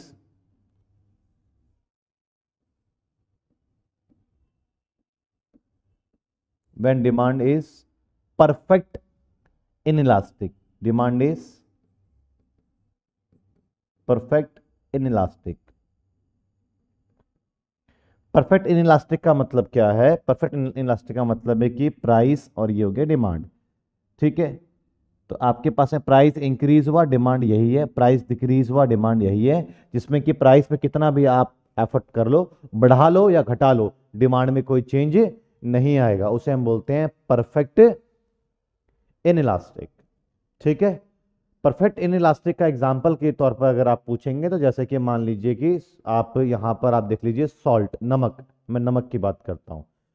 तो क्या है, नमक की कीमतें बढ़ जाएगी तो हम नमक का कंजम्पशन कम नहीं कर देंगे, सब्ज़ी में कम नमक डालना शुरू नहीं कर देंगे। जितनी खाते हैं, उतना ही करेंगे। और नमक अगर सस्ता भी हो जाए तो भी हम इसको जो है, ज़्यादा हम इसको सब्ज़ी में डालने नहीं लग जाएँगे। या जेब में लेकर के, पुड़िया में डाल करके बना कर घूमेंगे, बात बात पर हम उसको टेस्ट करते रहेंगे, नहीं। तो एक सॉल्ट एक ऐसी चीज़ है प्राइस बढ़ जाए तो डिमांड में कोई फ़र्क नहीं पड़ेगा प्राइस कम हो जाए तो डिमांड इसकी बढ़ेगी भी नहीं। तो ऐसे प्रोडक्ट जो कि एज अ प्रोड्यूसर आप एक आप एक फॉर्म एक प्रोड्यूसर है मैं एक फॉर्म एक प्रोड्यूसर हूँ, मैं गवर्नमेंट हूँ। आप एक फॉर्म प्रोड्यूसर हैं। आपको एक बात अच्छे से मालूम है कि आप कुछ उस तरीके के प्रोडक्ट को बना रहे हैं अब, जिसकी डिमांड परफेक्ट इन इलास्टिक है। मतलब प्राइस बढ़ा भी दोगे, तब भी डिमांड इसकी कम नहीं होने वाली है। मतलब कि कहीं ना कहीं आपके बाज़ार में आपके लिए कोई खास रिस्क नहीं है डिमांड को लेकर करके। तो जो गवर्नमेंट मैंने आप पे टैक्स लगाया, आपको पता है डिमांड तो कहीं जानी नहीं तो आप वो टैक्स उठा कर सीधा प्राइस पर कर दोगे और गवर्नमेंट और कंज्यूमर उसको अफोर्ड करेगा। तो किस केस में कंज्यूमर पूरा अफोर्ड करता है? जब डिमांड परफेक्टली इन इलास्टिक होती है। ठीक है? नेसेसिटी चीज़। बिल्कुल सही कह रहे हैं शुभम। अब देखिएगा। डायग्राम समझते हैं इसी बातों को।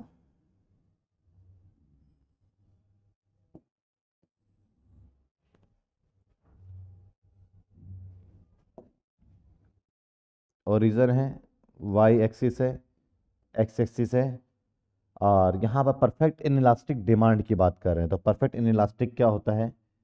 ये आपका जो डिमांड कर्व है, वो इस तरीके का रहेगा तो ये इस बार आपका डिमांड कर्व है। ठीक है? और सप्लाई कर तो जनरली क्योंकि मैं डिमांड की बात कर रहा हूँ सप्लाई जनरल रहेगा आपका। अब डिमांड सप्लाई कहाँ इंटरसेक्ट कर रहे हैं? ये प्राइस हो गया। ये एक क्लियरम पॉइंट है ना जहाँ डिमांड एंड सप्लाई इंटरसेक्ट करते हैं। तो ये प्राइस हो गया, ये क्वांटिटी हो गई, ये डिमांड कर्व है और ये आपका सप्लाई कर्व है। अब आपको पता है कि आपने टैक्स लगाया जब टैक्स आपने लगा दिया है तो सप्लाई कर्व पे तो इफ़ेक्ट पड़ेगा। सप्लाई कर्व यहाँ पे लेफ्टवर्ड शिफ्ट हो जाएगा। तो सप्लाई कर्व यहाँ पर जैसा कि आप देख पा रहे हैं कि सप्लाई कर्व आपका जो है, वो क्या हुआ? वो इस बार लेफ्टवर्ड शिफ्ट हो गया आपका। तो ये आपका S1 और S1 हो गया। तो अब न्यू सप्लाई कर्व और डिमांड कर्व कहाँ एक दूसरे को इंटरसेक्ट कर रहे हैं?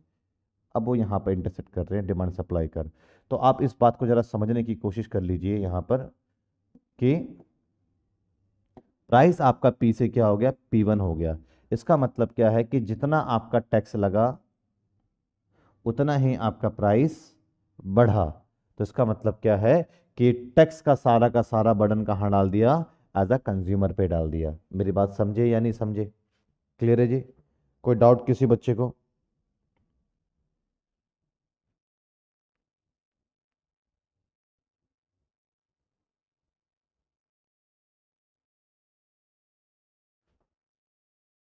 क्लियर है?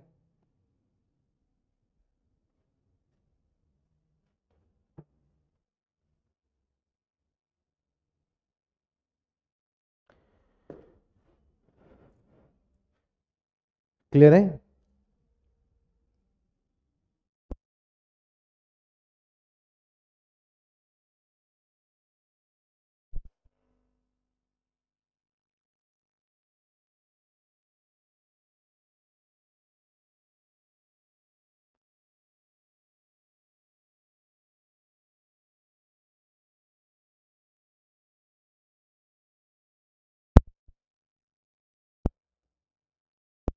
हाँ जी, देखिए ज़रा।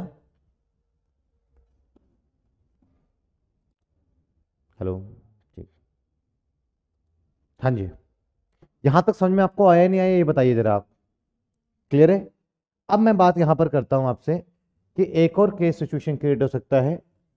एक तो परफेक्ट इन इलास्टिक जब डिमांड है और दूसरा केस जब जब पर, जब परफेक्ट इलास्टिसिटी सप्लाई है। कौन सा केस हो गया एक? Perfect elasticity supply.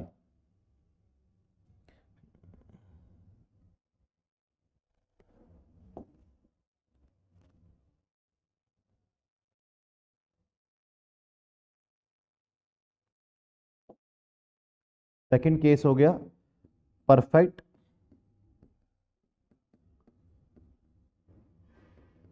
Elastic supply मतलब कि सप्लाई इस बार बड़ा सेंसिटिव है इलास्टिक है इन इलास्टिक नहीं इलास्टिक है। कि हल्का सा भी प्राइस बढ़ जाए तो भैया सप्लाई लोग कम कर देंगे। ऐसा कुछ प्रोडक्ट है जिसकी सप्लाई बड़ा सेंसिटिव है। सप्लाई बाज़ार में एकदम से बढ़ जाती है और सप्लाई बाज़ार में एकदम से कम हो जाती है। क्लियर है? ऐसे प्रोडक्ट की अगर मैं बात करूँ मतलब कि ऐसे प्रोडक्ट कौन से होते हैं जो कि परफेक्ट इलास्टिक सप्लाई होती है? ये वो प्रोडक्ट होते हैं बेटा, जो कि ऑलरेडी बहुत कम मार्जिन पे कोई फर्म सप्लाई कर रहा है, ज़्यादा नहीं कमा रहा है, एक दो पैसा कमा रहा है। ज़्यादा नहीं, दस पैसा, बीस पैसे के लिए ही काम कर रहा है। तो बहुत कम प्रॉफिट मार्जिन है, बस वो बाज़ार में है, काफ़ी टाइम से तो वो बस वो है। बट इसमें भी अगर उसको टैक्स का बर्डन, टैक्स लग जाए तो वो जहाँ दस, पचास पैसा कमा रहा है, सरकार एक रुपये टैक्स लगा दे तो भैया वो क्या करेगा? या तो वो काम बंद कर देगा या तो वो टैक्स सारा कंज्यूमर से अफोर्ड करवाएगा, लेकिन वो खुद कहाँ से भरेगा टैक्स बताइए। तो जहाँ पर बहुत कम मार्जिन होता है, वहाँ पर हल्का सा भी अगर कुछ प्रॉब्लम आए फर्म के अगेंस्ट में, वो फर्म को शट डाउन कर देती है सप्लाई डाउन हो जाता है। और थोड़ा सा इसके लिए फेवरेबल कोई पॉलिसी आ जाए तो एकदम से सप्लाई में और भी लोग जुट जाते हैं सप्लाई बढ़ जाती है। तो बड़ा ऐसा प्रोडक्ट की बात कर रहा हूँ, जो बहुत कम मार्जिन प्रॉफिट में बिकता है, उसकी जो सप्लाई है, वो इलास्टिक नेचर की सप्लाई होती है। मतलब सप्लाई ज़्यादा फ्लेक्सिबल होता है तो परफेक्ट इलास्टिक सप्लाई किसकी होती है? जो बहुत कम मार्जिन पे चीज़ें ऑलरेडी मार्केट के अंदर अवेलेबल करवाई रही है फर्म अब मैं बात करता हूँ perfect elastic supply perfect elastic का मतलब होता है parallel to x axis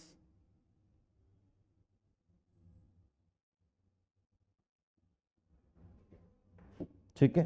this one अब यहाँ पर आपके पास एक डिमांड कर्व है।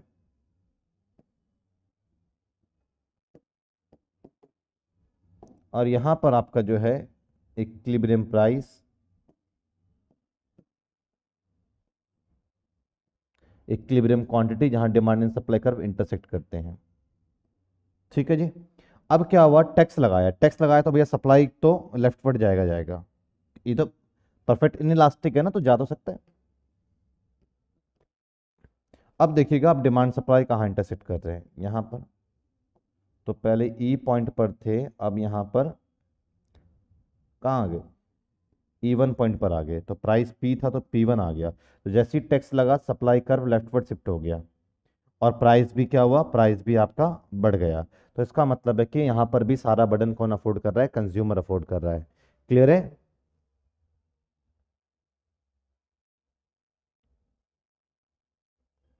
क्लियर है जी? कोई डाउट कोई डाउट है तो पूछिए। तो ये दो केस आपको समझ में अच्छे से आया?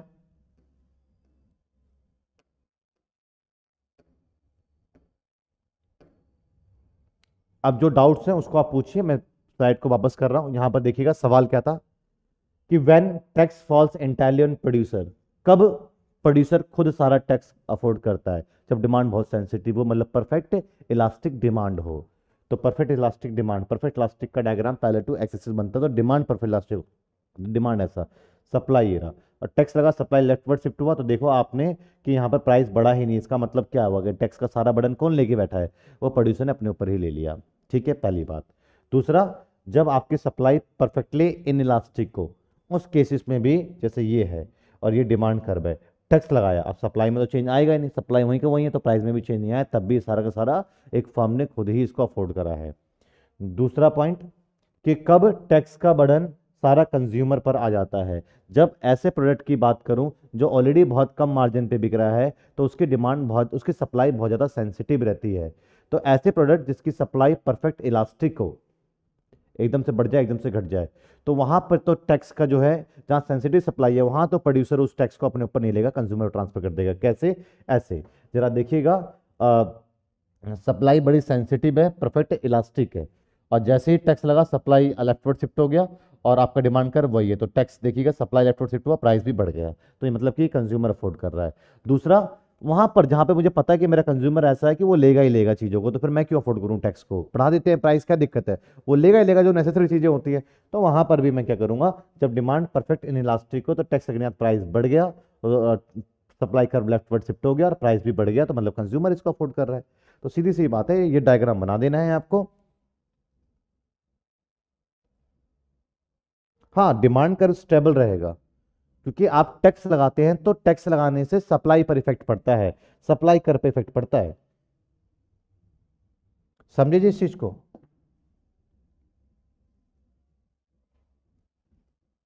क्लियर है? अब एक सवाल यह है कि वेजिस रेट क्या होता है?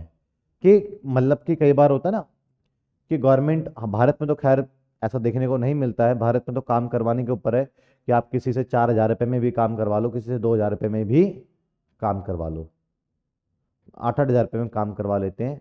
यहाँ पर दस हज़ार रुपये में गार्ड की नौकरी बारह घंटे की करवा लेते हैं। तो यहाँ तो खैर मिनिमम वेजिस रेट का मतलब यही है कि भैया जितना ज़्यादा आप एम्प्लॉय का हार्श कर सको, जितना ज़्यादा आप अपने एम्प्लॉय को ख़त्म कर सको, कर दो। उसका जीवन जीवन नहीं है। लेकिन बाहर एक मिनिमम वेजिस रेट भी होता है कि भैया इससे नीचे एम्प्लॉय को देना पाप है। समझे?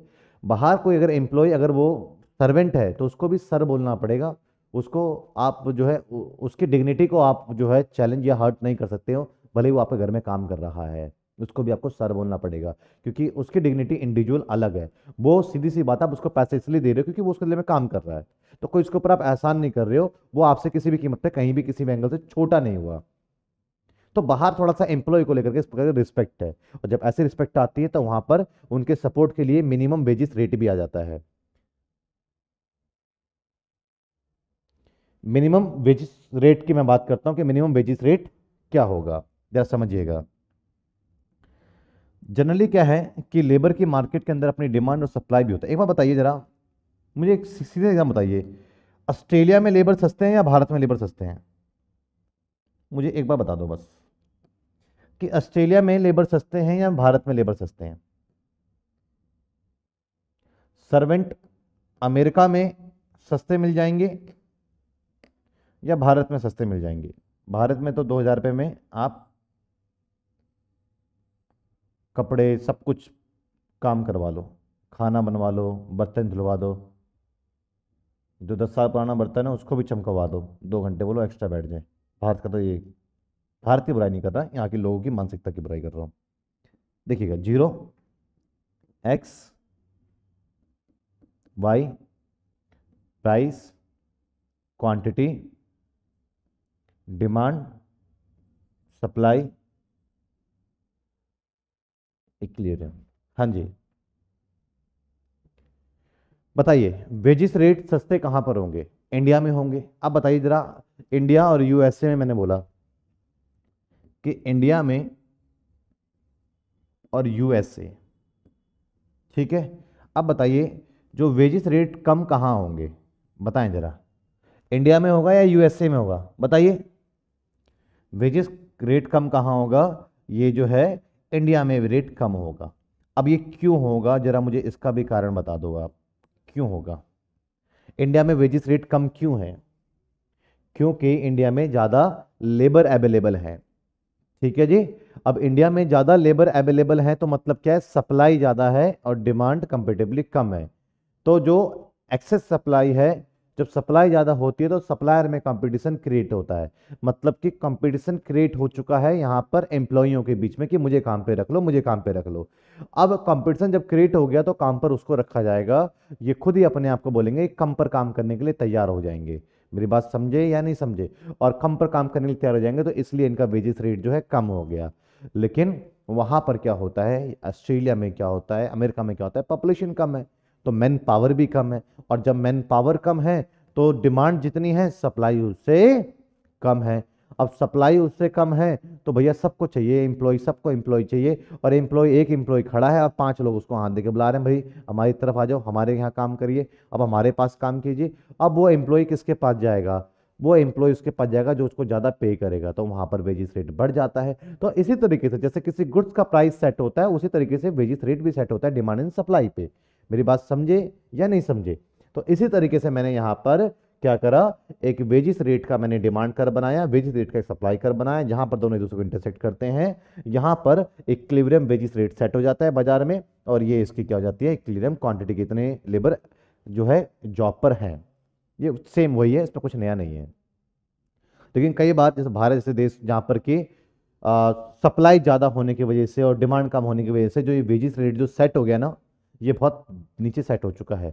इस आज के टाइम पे दस, बारह हज़ार, पंद्रह हज़ार रुपये में जॉब दे रहे हैं, पंद्रह हज़ार रुपये में। अगर आप भी जॉब सर्च करने के लिए जाएँगे, अगर आपने ध्यान नहीं दिया चीज़ों पे, आप अगर ये सोच रहे हो कि आपने सिर्फ़ ग्रेजुएशन कंप्लीट कर ली, उसके बाद आप काम करने के लिए जाएँगे तो रेड कारपेट बिछा देंगे आपके लिए और बोलेंगे, मालिक, आओ, अब तक हमारा फर्म उद्योग धंधा बहुत मंदा चल रहा था, अब आप आगे ग्रेजुएट करके अब इसमें आप चार चाँद लगा दोगे। फर्मों को पता है कि आपके ग्रेजुएशन जो है, उनके फर्मों के लिए कोई खास फ़ायदेमंद नहीं है। तो वो कोई आपके ग्रेजुएशन को खास जो है तवज्जो नहीं देंगे और जो बारहवीं पास वाले को काम सिखा करके करवाया जा सकता है, वो आपको भी वही, आप भी वही काम करने वाले कोई आप एक्स्ट्रा कोई आप रॉकेट साइंस सीख करके के नहीं जा रहे हो। तो आपकी तनख्वाह भी वही पंद्रह हज़ार रुपये ही ऑफ़र होगी, जो कि एक बारहवीं पास की तनख्वाह ऑफ़र हो रही है। मे भी किसी की, अब किसी की ज़्यादा हो सकती है क्योंकि उसके अंदर एक्स्ट्रा एबिलिटी हो। उसकी स्पोकन अच्छी हो तो वो उसमें चला गया है। तो इसलिए तो भारत में वेजिस रेट तो पंद्रह हज़ार रुपये सेट हो गया है। अब पंद्रह हज़ार रुपये वेजिस रेट सेट है, जिसमें से कि आप मान लीजिए कि बत्तीस रुपये इकतीस रुपये के आधा लीटर दूध है तो आपका हज़ार रुपये के आसपास तो आपके जो है महीने का, अगर एक लीटर दूध की बात करूँ मैं तो पंद्रह सौ रुपये महीने का आप दूध में चले जाता है। हज़ार रुपये का आप सिलेंडर भर दोगे तो और आप उसके बाद जो मतलब कि आपका जो तनख्वाह मिल, मिलती है, जो एवरेज वेजिस रेट है, वो आपकी सुबह की जो है चाय में ही चली जानी है, और आने जाने के ट्रांसपोर्टेशन में चला जाना है। बचना कुछ भी नहीं है। तो ये ये ये असलियत है इस समय की, आप अवेयर हो जाएँ। तो अगर ऐसा वेजिस रेट डिसाइड हो गया है, ऐसा रेट डिसाइड हो गया है, जो कि कंज्यूमर जिस पर सरवाइव नहीं कर सकता है तो गवर्नमेंट अपना मिनिमम वेजिस रेट लगा देती है कि भैया जो सेट हुआ है, उससे ऊपर लगा देती है। मिनिमम वेजिस रेट मिनिमम का मतलब कि इससे नीचे तो भैया कोई भी फर्म वेजिस नहीं दे सकती है, वो इलीगल है, उस पर कार्रवाई की जाएगी। चाहे आपका प्रॉफिट थोड़ा कम कर लो, लेकिन एम्प्लॉय को तनख्वाह थोड़ा सा बढ़ा दो। वो भी तो इंसान है। तो जब एक क्लियरेंस से ऊपर सेट हो जाता है तो भैया फिर एम्प्लॉय जो है ना, वो मोटिवेटेड हो जाते हैं, वो इंक्रीज हो जाते हैं और फिर उनकी लेबर की एक्सेस सप्लाई हो जाती है। ठीक है जी? क्लियर है? बात समझे या नहीं समझे? तो यहाँ पर सिचुएशन में कहीं ना कहीं अनएम्प्लॉयमेंट भी देखने को मिलता है। अगर सरकार मुझे बोल देती कि पच्चीस हज़ार से कम पे आप किसी रखोगे नहीं तो मैं एक को रख तो लूँगा पच्चीस हज़ार लेकिन फिर दो एम्प्लॉय रखने की मेरी हिम्मत नहीं होगी। पहले मैं पंद्रह पंद्रह हज़ार रुपये में भले ही दो एम्प्लॉय रख रहा था, तीस हज़ार रुपये में। लेकिन अब एक को पच्चीस हज़ार रुपये देना पड़ेगा तो एक और रखूँगा तो पचास हज़ार रुपये, वो मेरे देने की हिम्मत नहीं है। मैं एक को ही काम ज़्यादा करवाने की कोशिश करूँगा और एक एम्प्लॉय रखूँगा तो इससे बेरोजगारी आ जाती है, क्योंकि एक्सेस लेबर आता है। ये साइड इफ़ेक्ट है कि अगर गवर्नमेंट ने मिनिमम वेजिस रेट को मार्केट इक्लेरम वेजिस रेट से अगर अबव रखा तो वहाँ पर अनएम्प्लॉयमेंट जो है जनरेट हो जाएगा। ठीक है जी? क्लियर है?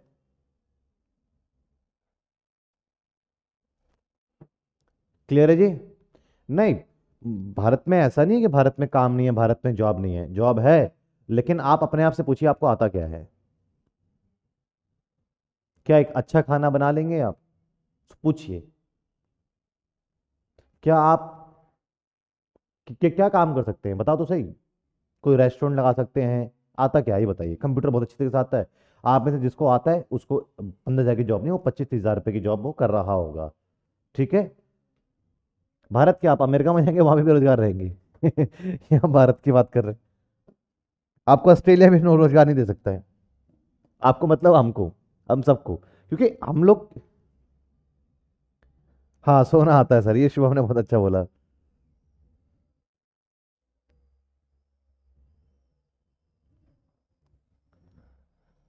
ठीक है जी। इस बात को समझिएगा। ये बातें थोड़ी चुपती हैं कि सर ऐसा कह रहे हैं, लेकिन ये फैक्ट है। जो रियलिटी से अगर फेस करवाऊँगा ना तो अच्छा है। हम गलत फहमी में रखेंगे, गलत फहमी में रहोगे, क्या फ़ायदा? ज़िंदगी इससे ख़राब हो जाए। समझ में आया भैया? और अगर सरकार ने अपना मिनिमम वेजिस रेट को अगर एक क्लियरम पर ही रखा तो उससे कोई वैसे फ़र्क नहीं पड़ना, नीचे रखने पर भी कोई फ़र्क नहीं पड़ेगा। ठीक है जी?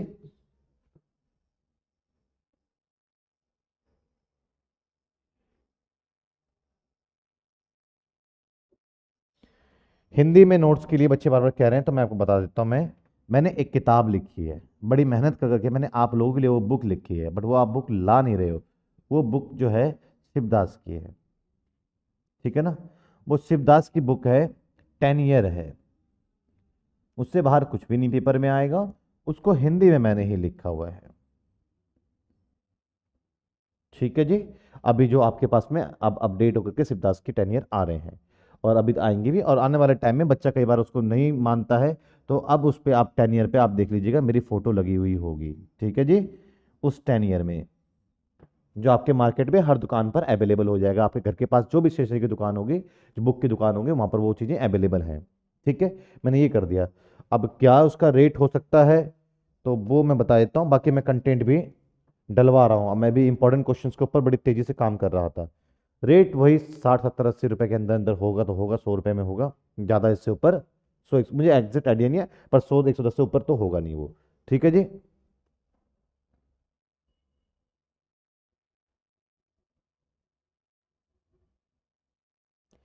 इंग्लिश में तो मेरा कंटेंट ही है, जो इंग्लिश में क्या है कि जो मैंने बुक में लिखा है, वही मैंने यहाँ लिखा है, ठीक है? बस डायग्राम वगैरह मैंने यहाँ पर थोड़ा सा अपन कलरफुल बनाने की कोशिश की है बट इंग्लिश में भी इंग्लिश में भी मैंने लिखा है, हिंदी भी मैंने लिखी हुई बुक ये बात का ध्यान रखिएगा। तो इंग्लिश का तो कंटेंट आपके साथ साथ लग रहा है। तो आप ले लेते हो, ऐसे फ़िज़िकल आपको कॉपी चाहिए तो आप ले लो सौ, सवा सौ रुपये खर्च करके, कोई दिक्कत नहीं है। ठीक है? बट अगर आप सॉफ्ट कॉपी में पढ़ सकते हो तो वो मैंने आपको अवेलेबल करवा दिया है। लेकिन मैं दोनों ही बच्चों को ये कहूँगा कि फ़िज़िकल कॉपी होगा तो ज़्यादा अच्छी तरीके से पढ़ा जाएगा आपसे। ठीक है? उसमें क्या करोगे? इंपॉर्टेंट क्वेश्चन मैं बोलूँगा तो उसमें मार्क करके तो रख दोगे आप। ये ये पढ़ना है आपको। यहाँ बार बार स्लाइड को आप रोटेट करते रहोगे। बताइए। अब तो चीज़ें आसान हो गई हैं यार, इतना क्या सोच रहे हो? मैं जब इकोनॉमिक्स पढ़ता था, आज से 12 साल पहले मैंने क्लासेस ली थी फ़र्स्ट ईयर की तो वहाँ पर मेरी इकोनॉमिक्स की फ़ीस सात हज़ार रुपये थी। एक सेमेस्टर की। आज से 12 साल पहले, और आज फ़ीस हज़ार रुपये के आसपास रह गई है। तो यार, इतना नहीं होता है। वो थोड़ा सा इन्वेस्ट कर लो। ठीक है?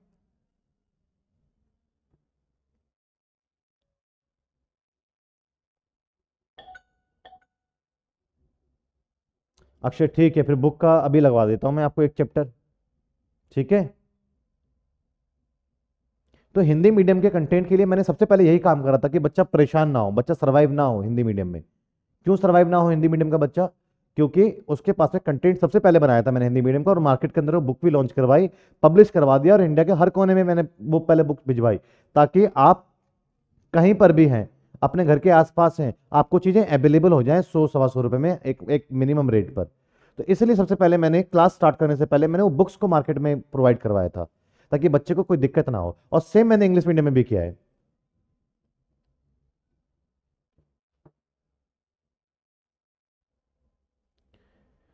अब बात करते हैं मिनिमम अब मिनिमम वेजिस रेट को हम बोलते हैं न्यूनतम मजदूरी दर। ये समझ में आया? तो आपका एप्लीकेशन डिमांड एंड सप्लाई में आज की क्लास में यही था। अब बात करते हैं most most most important question की।